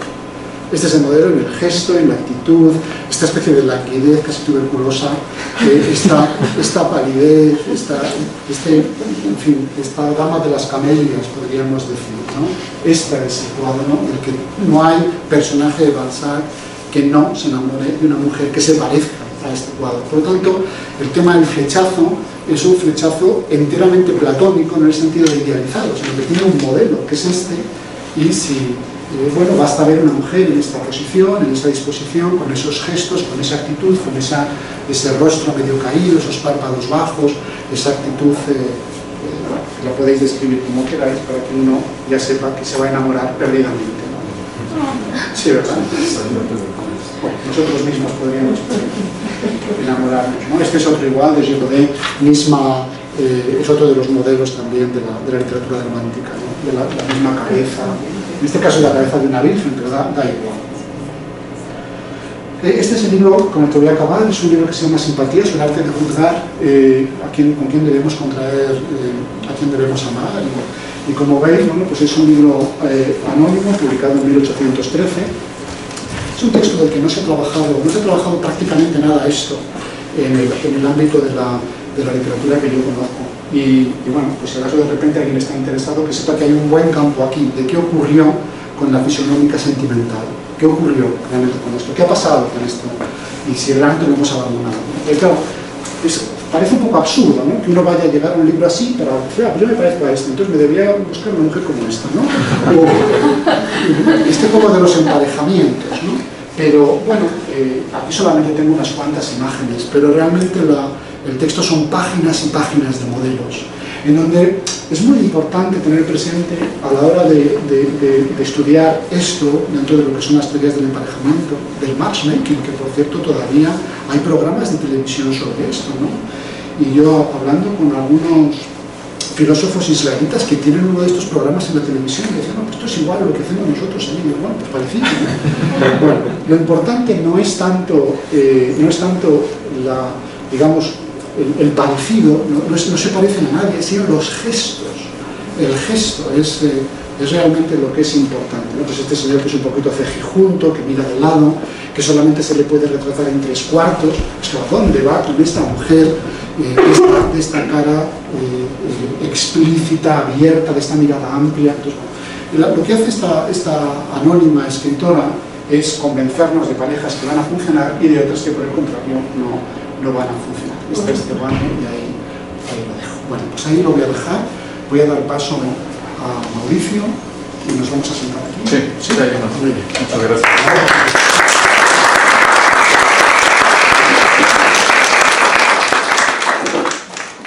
Bueno, pues ahora sí, pasando a la cuestión de, de, de, el futuro y las emociones y cómo abordarlas, una primera pregunta que me gustaría ah, hacerle al, doctor Moscoso es si, ya, ya, lo ha denotado, ¿no? lo ha dejado dicho, pero me gustaría ahondar un poco más sobre la importancia de trabajar eh, las emociones o las experiencias en distintas eh, categorías o conceptos eh, de abordaje, pero sí sería necesario hacer este tipo de trabajos a nivel de equipos colaborativos, no a nivel individual, sino trabajos multi e interdisciplinarios. De, que, de esta manera, ¿cuál sería este, a futuro esa posibilidad de trabajo si eh, en, particular en Madrid tienen este tipo de, de desarrollo?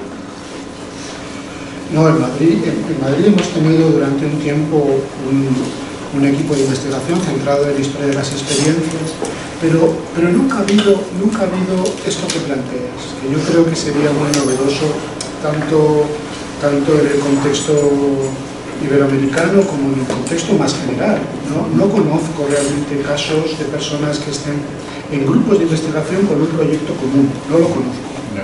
Y eh, quiero decir, si conozco gente que sobre un paraguas teórico, pues lo que he mencionado antes de, de Berlín, pues ellos tienen un paraguas teórico y entonces en ese paraguas teórico luego caben muchas posibilidades ¿no? y hay personas que trabajan aquí o allá pero personas que se hayan planteado un gran tema de investigación y entiendan que no son capaces de llevarlo a cabo de manera individual y que en consecuencia requiere un equipo un equipo de investigación no cada uno con su tema y luego ya veremos sino un equipo de investigación esto no lo hay y esto me parece que es una de las yo creo que una de las exigencias de las humanidades del siglo XXI.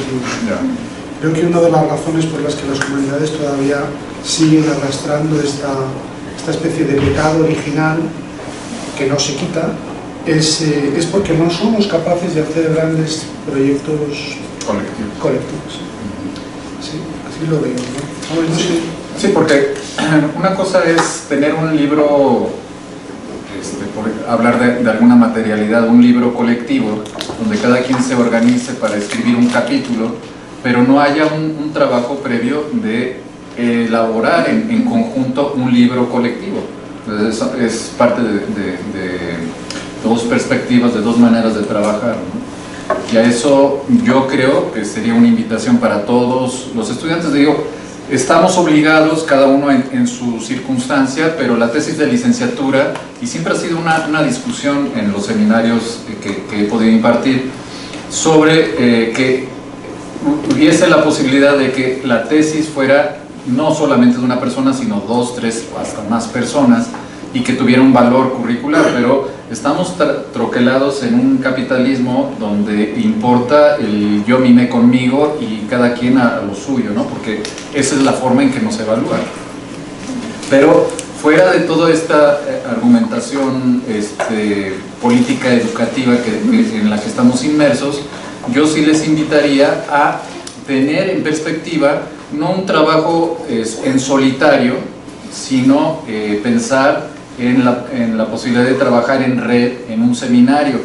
Y de eso, bueno, Estela y yo, Javier, desde, desde España, estamos previendo el continuar este, esta experiencia de la cátedra, pero uh, ya en México y de manera regular, eh, bajo la reflexión alrededor de historia de las emociones o de las experiencias. No sé si quieras decir algo al respecto. Pues sí, lo habíamos estado platicando desde que a partir de que nos interesó armar el proyecto juntos y hay poco, hay, sí hay grupos de trabajo filosóficas, por ejemplo, ahora que lo mencionabas tú, pensaba en el, en el seminario ya muy antiguo de la doctora Gonzalo en el Colegio México. De vida cotidiana. De vida cotidiana, pero en algún momento sí se concentró mucho en el, en el estudio de las emociones, ¿no? Pero en este momento creo que desde la historia sería muy importante y muy interesante consolidar un grupo de trabajo que pudiera armar una red y avanzar de manera colectiva en el estudio y en la profundización de muchos temas, desde perspectivas distintas. Y pues hemos estado pensando que quizá a partir del próximo semestre pudiéramos echar a andar un seminario, tenemos que pensar bien la temática, la forma de trabajo, quién podría integrarse al seminario también, pero sí que está en el, en el proyecto muy próximo arrancar con, con un, un, seminario de este tipo. Este, y bueno, obviamente contamos con tu, con tu presencia y participación en, en él. Bueno, yo encantado, salvando las distancias. No, bueno, podemos, ahora que hay Skype, y bueno, podrás venir seguramente al año o así, pero mientras tanto podrías estar presente. Se hace mucho en el instituto, seminarios de ese tipo con profesores, investigadores que están fuera, nos conectamos una vez al mes o una cosa así y bueno, pues seguramente podrás venir eh, el próximo año, nos daría muchísimo gusto tenerte aquí eh, ya en persona, pero podemos ir trabajando a lo largo del año en algo así. A ver, si yo hiciera la pregunta ahorita muy concreta, ¿quiénes estarían interesados en participar en este seminario? ¿Quién, levantaría la mano? Okay. Ahora, este, el reto para nosotros, tenemos la deformación de, de ser este, historiador, no, no, no la deformación, la riqueza de ser historiadores, pero se enriquecería mucho el seminario la, la, presencia de otras disciplinas, o sea, no estaría exclusivamente para los historiadores, sino para gente de letras, para gente de, de filosofía, de antropología, este, pedagogía incluso, que quisieran, y psicología desde luego, que estuvieran interesados en participar en, este seminario. O sea, es que ya les daremos pautas sobre este seminario con, forma y tiempo. No sé si en el Instituto de Históricas tuvieran a bien recibirnos. O si Seguro, de hecho yo lo he platicado, lo tenía que platicar contigo, lo tenemos que platicar, pero sin duda tenemos ese espacio en Históricas, podríamos tener una página allí también para ir subiendo las, las lecturas como lo hemos hecho, eh, tener un fondo común de bibliografía, ir nutriendo esto y, no, y, que no fuera algo que se pierde eh, cada semestre o que es como nada más de momento, sino realmente ir consolidando una línea de investigación en, historia, filosofía, antropología, las emisiones. Y, que sirviera para, para, tener una publicación, y eso es una de las primeras preguntas que, quería hacerle también a, a Tomás Coso sobre eh, ¿qué tanto hay de publicaciones periódicas alrededor de historia de las emociones? Eh, que pudieras darnos alguna pauta por si alguno tiene algún artículo y que pueda mandarlo y que nosotros también pudiéramos tener ese, ese tipo de publicaciones aquí en la UNAM, ¿no? alrededor de, las emociones o de las experiencias. Bueno, hay, hay, ya hay cada vez más eh, sitios donde, eh, editoriales y revistas interesadas en la historia de las emociones. Normalmente, lo que yo sé, no hay prácticamente revista o publicación periódica relacionada con la historia cultural, incluso la historia política, también la historia de la ciencia, que no haya dedicado un monográfico de una manera o de otra a la historia de las emociones. Aquí no. Todavía no lo tenemos. Pues eso habría que hacerlo porque... aquí en el SAIC. La revista de estudios sociales, por ejemplo, en Colombia lo hizo, en Madrid también se ha hecho, en varias, varias publicaciones periódicas. Mm, la propia Sociedad Australiana de Historia de las Emociones tiene, tiene un journal de, de Historia de las Emociones, el Journal of Cultural History también publica sobre Historia de las Emociones. Y luego cada vez hay más editoriales interesadas y blogs interesados en historias emociones. Blogs, eh, al menos dos, que son yo creo que importantes. Uno es del propio Queen Mary, que invito a la gente que no esté de alta que se dé, porque encontrará ahí mucha información sobre historias emociones.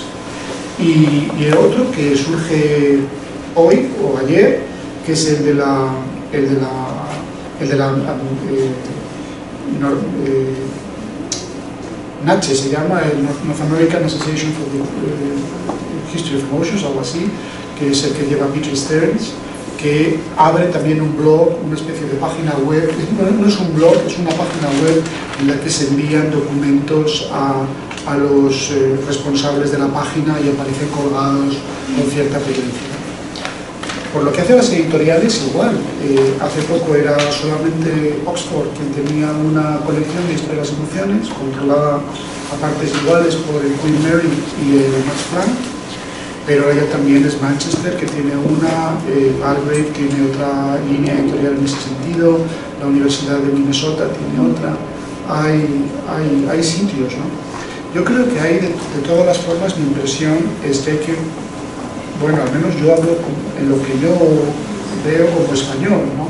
que hay que procurar sin perder, hay que hacer siempre el doble, ¿no? que es seguir publicando en español y también publicar en el ámbito angloamericano. Esto es lo que yo y al, respecto, Javier, perdón, eh, eh, es que en meses pasados he estado discutiendo mucho, dialogando mucho con amigos, profesores, colegas sobre la importancia de escribir en castellano, eh, pues eso, ¿no? Ciencia. Y, y, yo por lo menos me he encontrado con la limitante de que mucho de la antropología y la historia y las emociones, que es en lo que más he estado leyendo, eh, está escrito en inglés. ¿no? Entonces, creo que si bien es cierto que debemos hacer un esfuerzo por comunicarnos con la comunidad eh, angloparlante, es muy importante también enfatizar en la importancia que tiene escribir en castellano sobre temas que son todavía muy novedosos para los historiadores, los antropólogos, los filósofos en el mundo hispanoparlante. Entonces creo que ahí también tenemos un, una tarea importante. Que, sí, totalmente. De hecho, de hecho, hay un proyecto que todavía no está realizado y que os invito desde ya a que asumáis esa iniciativa o incluso podría, yo por ejemplo yo no, no, lo quiero hacer yo solo, ¿no? a lo mejor me sumaría, pero no hay un solo manual en castellano sobre historia de las emociones como los hay en lengua inglesa, ¿no? no hay, sin embargo la demanda es grande, ¿no? Pero sí, esto yo creo que lo que dices Estela tienes toda la razón, por eso yo creo que al final siempre uno tiene que trabajar en doble dependiendo de dónde, de dónde viva y de dónde crezca, ¿no? hay que, hay que seguir insistiendo en la vía de, de, la lengua española, pero también yo creo que es importante tener más presencia en otros foros. Eso también lo creo. Sí, y en este sentido eh, tendremos que hablarle a, a Taibo, si es que queda en el Fondo de Cultura Económica, porque aquello de que nace en Gijón ya no le da ni le permite ser director del Fondo de Cultura Económica, pero sí habría necesidad de traducir muchos de los clásicos de historia de las emociones al castellano, al español, porque, digamos, no, hay, hay la, la, la posibilidad de hacerlo en inglés, pero si está en español eso facultaría a que más lectores lo, lo hagan suyo. Este, y entonces si una buena colección de estos clásicos vertidos al español, más la pluma de, de futuros investigadores en torno al, al, tema de las emociones, pues eso enriquecería en, en, buena parte la presencia de, este, de esta vocación de análisis de las emociones en América Latina, en México y en América Latina. Porque no hay que olvidar también el portugués, eso, eso también es es más fácil que un brasileño nos lea en, español que a la inversa, pero nosotros cada vez estamos obligados de hacer el, la lectura de, de, del portugués. Bueno, ya que estamos eh, tocando o estoy tocando el tema de América Latina, quisiera preguntarte qué, qué, tanto está desarrollado tú que conoces en Brasil y en Colombia este, este tipo de, de reflexiones en torno a las emociones. Fíjate, yo creo que hay y lo, lo, digo además con la, con la reflexión tuya anterior, yo creo que estaría muy bien, eh, traducir siempre es bueno, pero creo que, creo que sería bueno también plantear eh, o reivindicar una propia tradición, reivindicar los elementos propios. Eh, a mí no me parece coincidencia que, que en, el, en, la cuna de, del evolucionismo Thomas Dixon publica el libro que publica y a él le parece que es perfectamente universal y a mí me parece perfectamente provinciano. Tampoco, tampoco me parece coincidencia que, que en fin, donde, donde ocurrieron las cosas que ocurrieron, pues Ute Freber escriba sobre la culpa y la vergüenza. Me parece que es, pero no me parece que sea una cosa tan extraña, ¿no? Claro, yo cuando estaba dando clase en los Andes, tenía en Medellín, tenía en una clase de 20, 25 estudiantes, había cinco, al menos cinco estudiantes trabajando sobre reconciliación. Trabajando sobre reconciliación, que me parece muy interesante, igual que me parece muy interesante que se plantee pues, este seminario que, al que yo he asistido sobre la violencia. Yo, yo creo que hay, hay la historia eh, iberoamericana es lo suficientemente rica como para mirarla con absoluta tranquilidad y decir nosotros tenemos una tradición historiográfica amplia, tenemos una tradición de antropología amplia, tenemos posibilidad de construir nuestra propia tradición y, y, plantearla, además que sería yo creo que interesante, ¿no? Desde, bueno, ¿qué podemos aportar desde esta lengua y desde, este, desde estas latitudes desde el sur, ¿no? Se puede utilizar este, la modernidad del sur, ¿qué es lo que puede la modernidad del sur en el contexto de las emociones? Yo creo que sería muy interesante. Hay, hay gente, por responder ya más en concreto tu pregunta, hay grupúsculos y grupos de personas eh, trabajando en toda América Latina de una manera, pues bueno, yo creo que, que muy correcta y, y, que son personas a las que hay que tener en cuenta. Lo que nos falta es un poco esta, este sentimiento de unión, que ya sabéis que, que estoy deseando que toméis la iniciativa y, y haya una, una, pequeña red eh, iberoamericana de, de, de historia de las emociones en particular.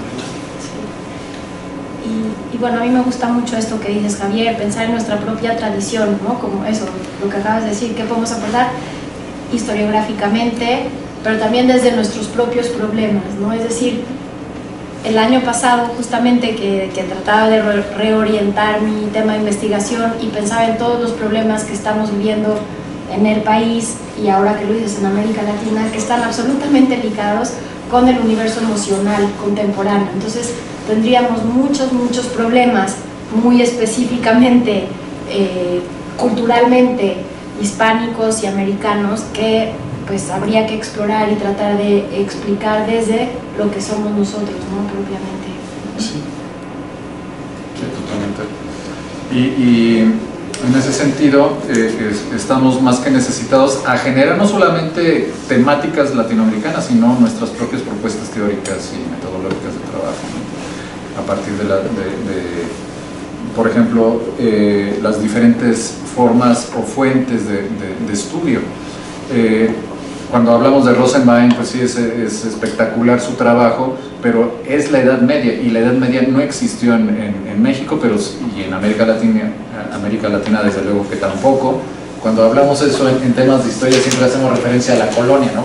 La colonia no tiene nada que ver con la Edad Media, pero es nuestra historia y el mundo prehispánico, y yo creo que en eso habría que leer transversalmente a, León Portilla y a, y a, López Austin y entre otros grandes figuras de la, de la antropología que tanto han abordado el tema de las emociones sin que sea su primera tarea, pero que ahí está presente y volver a leer a los grandes cronistas eh, bajo esta, esta óptica yo creo que arrojaría luz y, y una, una, lectura muy rica ¿eh? sobre lo que somos y, y, en ese periodo y en la modernidad desde luego este, Hace un momento le comentaba a, a Javier sobre, eh, la, falleció tristemente Fernando del Paso el día de hoy y bueno, su pérdida es, es, va a ser grande, pero nos deja una gran obra que es Noticias del Imperio. Y Noticias del Imperio es mucho, y le va a gustar a Javier, revisar esta obra porque es el periodo francés eh, que por, eh, por excelencia te, te, conoces al derecho al revés, pero su presencia en México, ¿no? de, qué, de qué manera esto retumbó en el, en el, castillo de Chapultepec y luego en, Miramar, este, de ida y vuelta, en cuestiones de, de, de emociones. Eh, la red entonces latinoamericana yo creo que sí es un, un reto que, que, tenemos que tener en el escritorio, eh, una, una, red que faculte el intercambio de tener una bibliografía en común en general, porque desconocemos, yo, yo sé de, de gente en Colombia que ha tenido publicaciones importantes, pero que no ha habido el intercambio. ¿Por qué tenemos que tener entonces el intercambio con norteamericanos o con europeos? No, también, no, no, no hay que ser radicales, pero ¿por qué no tenerla con, con los colegas latinoamericanos? Entonces esa tarea tendremos que arrastrar este lápiz o eh, teclear más, más rápido eh, para tener este, esta comunicación, intercambio con la gente de América Latina, tener en particular nuestro seminario y por ahí continuar. Eh, pero en, en, a futuro yo quisiera preguntarle también a Javier, ¿qué tanto has, eh, tienes en puerta alguna publicación? Esta historia de los dientes, ¿sobre qué va, por ejemplo? Uf, la historia de los dientes está un poquito atrasada. dentro de pero, que, pero, dentro de, de, este ámbito... La historia de los dientes es más bien, es otra cosa, es un libro de encargo, es un libro que tiene mucho más que ver con, con cultura visual. Dentro de lo que es la historia de las emociones, tengo esto de lo que os hablaba el otro día, os daba algunas, algunas pinceladas. Tengo una historia de columpio que está prácticamente acabada. Lo que nos has presentado. Sí, puedo esto que os insinué, que es una historia enloquecida, de cómo la misma misma, el mismo input puede producir distintas experiencias. Luego tengo el encargo para hacer una, una gramática de las pasiones políticas, que es un libro que voy a hacer fundamentalmente de estos artículos que escribo en la prensa. Y, y, bueno, pues un poco la idea de la gramática es una idea muy del 19 es como un diccionario, salvo que las, las pasiones y las emociones están en relación. Entonces, bueno, me pidieron también es otro libro de encargo. El, el, único que no es de encargo es el del columpio, que este surgió de mi, de mi cabeza enloquecida. Y os va a gustar, ¿eh? O sea, el columpio os va a gustar, pero además cuando llevéis a los niños al parque... Darse cuenta. Claro. Ya casi está, ¿no? El libro columpio sí, este le queda muy poquito, le queda muy poquito, sí, creo que en cuatro o cinco meses es un libro eh, muy especial que pretende simplemente hacer una llamada de atención a cómo se puede, cómo se puede dialogar con una, con una experiencia una experiencia que es cultural, pero que también es biológica, que tiene mucho que ver con, con cosas que, también saben y estudian en otras ciencias.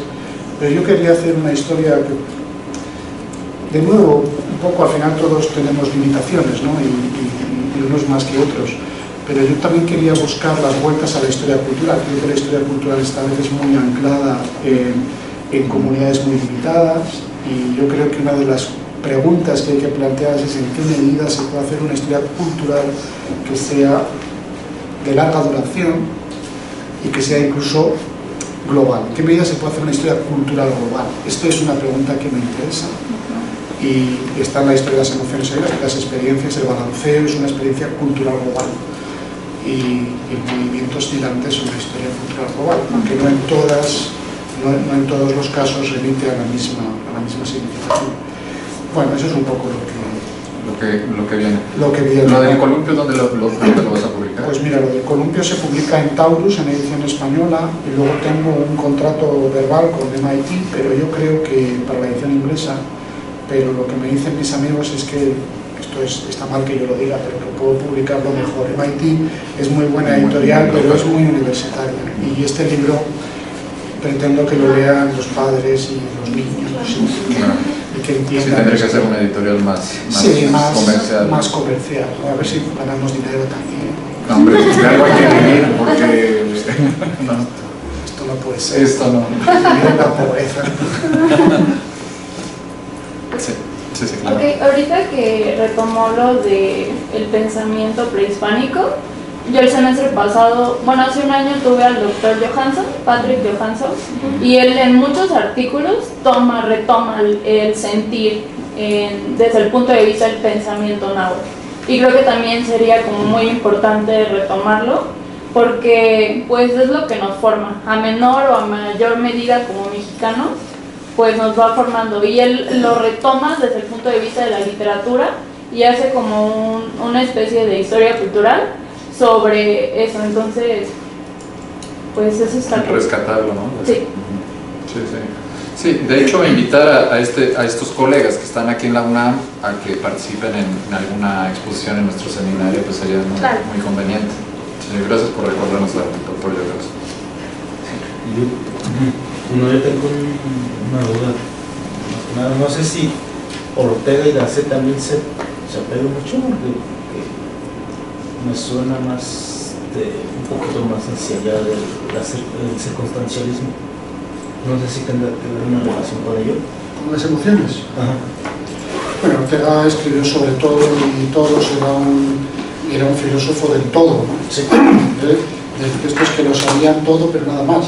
Este, Ortega, por ejemplo, hace un prólogo fascinante a la edición de Stendhal del Tratado en Amor, que es, eh, en la edición española es donde está incluido ahí, pero en realidad eh, hay como buen, como buen discípulo lejano de Nietzsche, hay mucho en el vitalismo orteguiano que debe a la filosofía de la historia y a la idea de las emociones nietzscheanas. Yo creo que sí, que está en todos lados. Yo no soy la persona que más puede reivindicar el pensamiento de Ortega, porque ni soy orteguiano ni nunca me he sentido identificado con lo que él hacía. Dicho esto, por ejemplo, lo que, lo que comenta en el prólogo este que acabo de mencionar sobre Stendhal y Chateaubriand me parece un disparate de primerísimo orden, ¿no?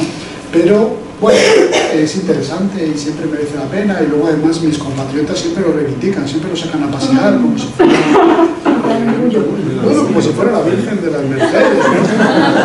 Ortega por aquí, Ortega por allá.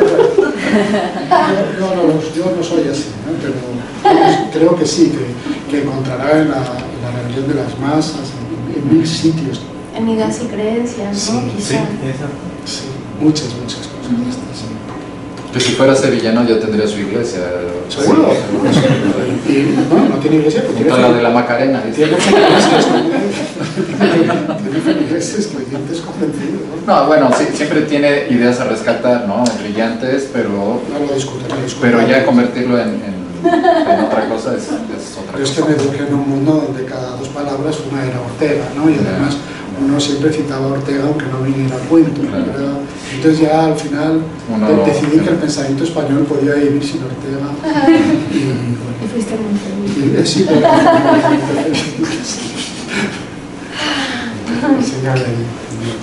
Sí, no sé quién levantó la mano. Allá atrás, Ah. sí. Este, buenas tardes. Bueno, mi pregunta es más orientada hacia el plan que tienen de trabajo la siguiente. Eh, es que pues, como filósofo nada más he visto que se estudian las emociones como unidad y no como una integración. Eh, y eso me parece, pues, bueno, más bien mi pregunta es si este estudio de las emociones que intentan hacer es como un sistema integrador de todas las emociones o solo de una por una, se ha visto al, al menos en la historia de la filosofía. No, bu- bueno, este, no, no es que tengamos un plan y que ahora se van a sujetar a ello. Tendríamos que, que- que dialogarlo y, y pensarlo, reflexionar en torno. Eh, lo que sí te digo es que ha- habría algunas lecturas básicas que tendríamos que, que hacer en, en- en- en conjunto y a partir de ello ya empezar a ver si trabajamos este, de manera integradora o de manera este, eh, singular, ¿no? Cada una de las emociones. Pero eso digamos que lo primero es lo primero y aterrizando, este, sí les voy a pedir que eh, las características del ensayo lo, lo- lo- puedan entregar este 12 de diciembre. Estamos pidiendo 15 cuartillas, 15 cuartillas a doble espacio, tamaño Times, eh, la tipografía Times a 12 puntos. eh, con, pues ya lo saben, la presentación, un, un cuerpo de texto, eh, sus preguntas, pero ahí la, la- la importancia, y lo, lo comentaba con, con Estela y con Javier, ¿qué, qué sería lo conveniente? Si darles nosotros la pauta o que ustedes a partir de sus propios trabajos que estén desarrollando pudieran continuarlo y hacer este ensayo. Entonces yo, yo creo que las dos cosas casan. Si ustedes eh, quieren desarrollar algún concepto de los que, que se hayan visto en la cátedra eh, y aterrizarlo con alguna emoción en particular, pues será bien, bienvenido este, este ensayo. Eh, o si quieren hacer de a partir de sus eh, trabajos de investigación o incluso de su tesis una reflexión eh, que tenga que ver desde luego con lo que está- hemos visto en, en- en estas sesiones, pues también eh, podría ser bien, bien visto. Entonces, eh, no sé si estamos abriéndoles, para nosotros va a ser más trabajo, porque eh, para Estela y para mí trabajar desde, desde distintas eh, vocaciones disciplinarias con temáticas particulares, pues sí puede ser un reto, pero claridad y preguntas y, y ahí es- eso con mucho gusto lo vamos a recibir, pero entregándolo a tiempo. Ya, este, Adrián, este, sí pudiste averiguar si se puede... No, parece que sí es posible. Podríamos eh, proponer esa temática, este, más bien esa dinámica de abrir una carpeta. eh, no, no deben, vaya, no es necesario que sean, tengan eh, Gmail y ahí carguen sus ensayos o bien enviarlos a una dirección de correo, ¿no? Cualquiera quedaría. Entonces no sé qué sea lo mejor. Este, yo lo que le había preguntado a, a Adrián es si en el Dropbox, de donde hemos bajado las lecturas, ustedes tuvieran la posibilidad de, de meter ahí su, su trabajo. Eso es una, una cosa que, que terminamos de explorar y les decimos si no va a ser o al correo de Estela o al mío, al de Javier no, porque ya tiene bastante trabajo, este, pero sí al, al- al de nosotros dos y ahí nos envían con tiempo este, este, estos ensayos. ¿no? Eh, Podría ser, es que es la última, la última sesión y si es hasta el, hasta el 12 tendrían que traerlo impreso, pero ¿a dónde? ¿Aquí o a históricas? a históricas. Es que yo prefiero, yo prefiero leer, perdón por estas... No, por favor. eh, yo, yo sí prefiero leer en papel, para mí calificar en la computadora es horrible. Sí, yo, yo Y también. entonces, y además se pueden hacer anotaciones y se pueden entregar. Yo lo prefiero siempre impreso y, y no voy a imprimir Tantos trabajos. tantos trabajos porque el instituto me daría vergüenza. Eh, No, porque son brillantes los trabajos.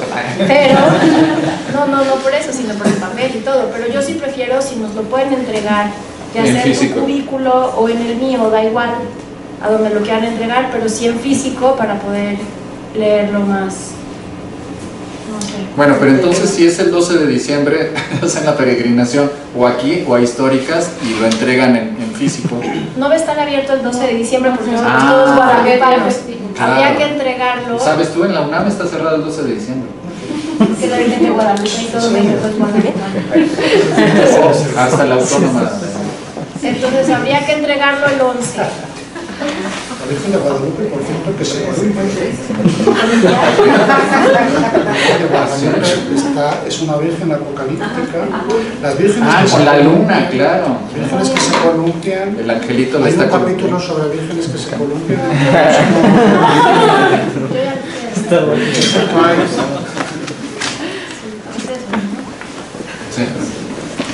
¿El martes 11 de diciembre entonces? Sí. Martes 11, sí. Ya sea en históricas o haciendo ese I. Les mandamos el correo. Sí. ¿Y en qué parte de? Les vamos a mandar el correo. Sí, eh, quería preguntarle a, a Javier, aprovechando que están ustedes aquí, está eh, lo, lo que planteaban, ¿no? De esta necesidad de diálogo con otras disciplinas, con otros campos de estudio. ¿Cómo ha sido, este, si han tenido acercamiento a, los científicos, a lo que están produciendo los científicos? tomando como, como punto de partida do- dos casos que, que yo tengo presentes. El primero es eh, un texto de, de Arnoldo Kraus, que es médico de acá, de la UNAM, tiene un libro so- sobre el dolor, pero él reitera mucho ¿no? la necesidad de que los médicos dicen tenemos que acercarnos a las humanidades, porque ellos están haciendo cosas y están explicando cosas que los médicos no podemos explicar, no podemos entender las expresiones de sentimentalidad que, que las humanidades están haciendo. Y el otro caso es Antonio Damasio, ¿no? El- que tiene este libro de neurobiología de las emociones y los sentimientos, que también reivindica ese necesitamos acercarnos a las humanidades porque están dando respuestas que nosotros ya no, no, no podemos otorgar. Entonces, ¿cómo ha sido, no sé, en tu caso, Javier? Este, este- Na- Nada más, es que no estuviste en las primeras sesiones. No. Así empezó el curso. Ah, ok. Sí. Solo me faltó la primerita, ¿no? Sí. Sí, las dos primeras estuvieron enfocadas. Dedicadas a a- las Ah, a la... Perfecto. Pero si quieres decirle algo, Javier. No, yo, yo creo que no hay, un, no hay un procedimiento más que... Yo creo que el único procedimiento es buscar personas adecuadas, personas que duden y personas que tengan la idea de que pueden aprender de otros.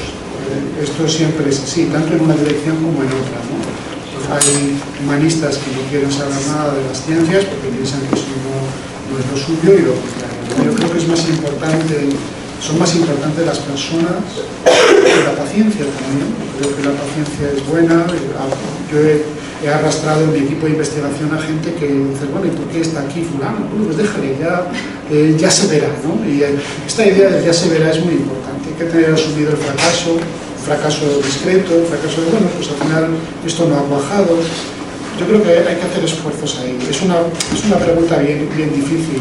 Hay, hay equipos enteros que se dedican a intentar responderla. Estuve hace poco invitado por el, por el Welcome Hub, que es un- una institución que precisamente busca proyectos interdisciplinares, eh, donde haya- y ellos se plantean que tiene que haber un grupo de personas provenientes de muy distintas disciplinas para que tenga éxito la investigación. No es nada fácil responder a esto. Algunas de las cosas que yo he enseñado aquí son resultados de investigación conjunta. Por ejemplo, el proyecto sobre fibromialgia es resultado de investigación conjunta.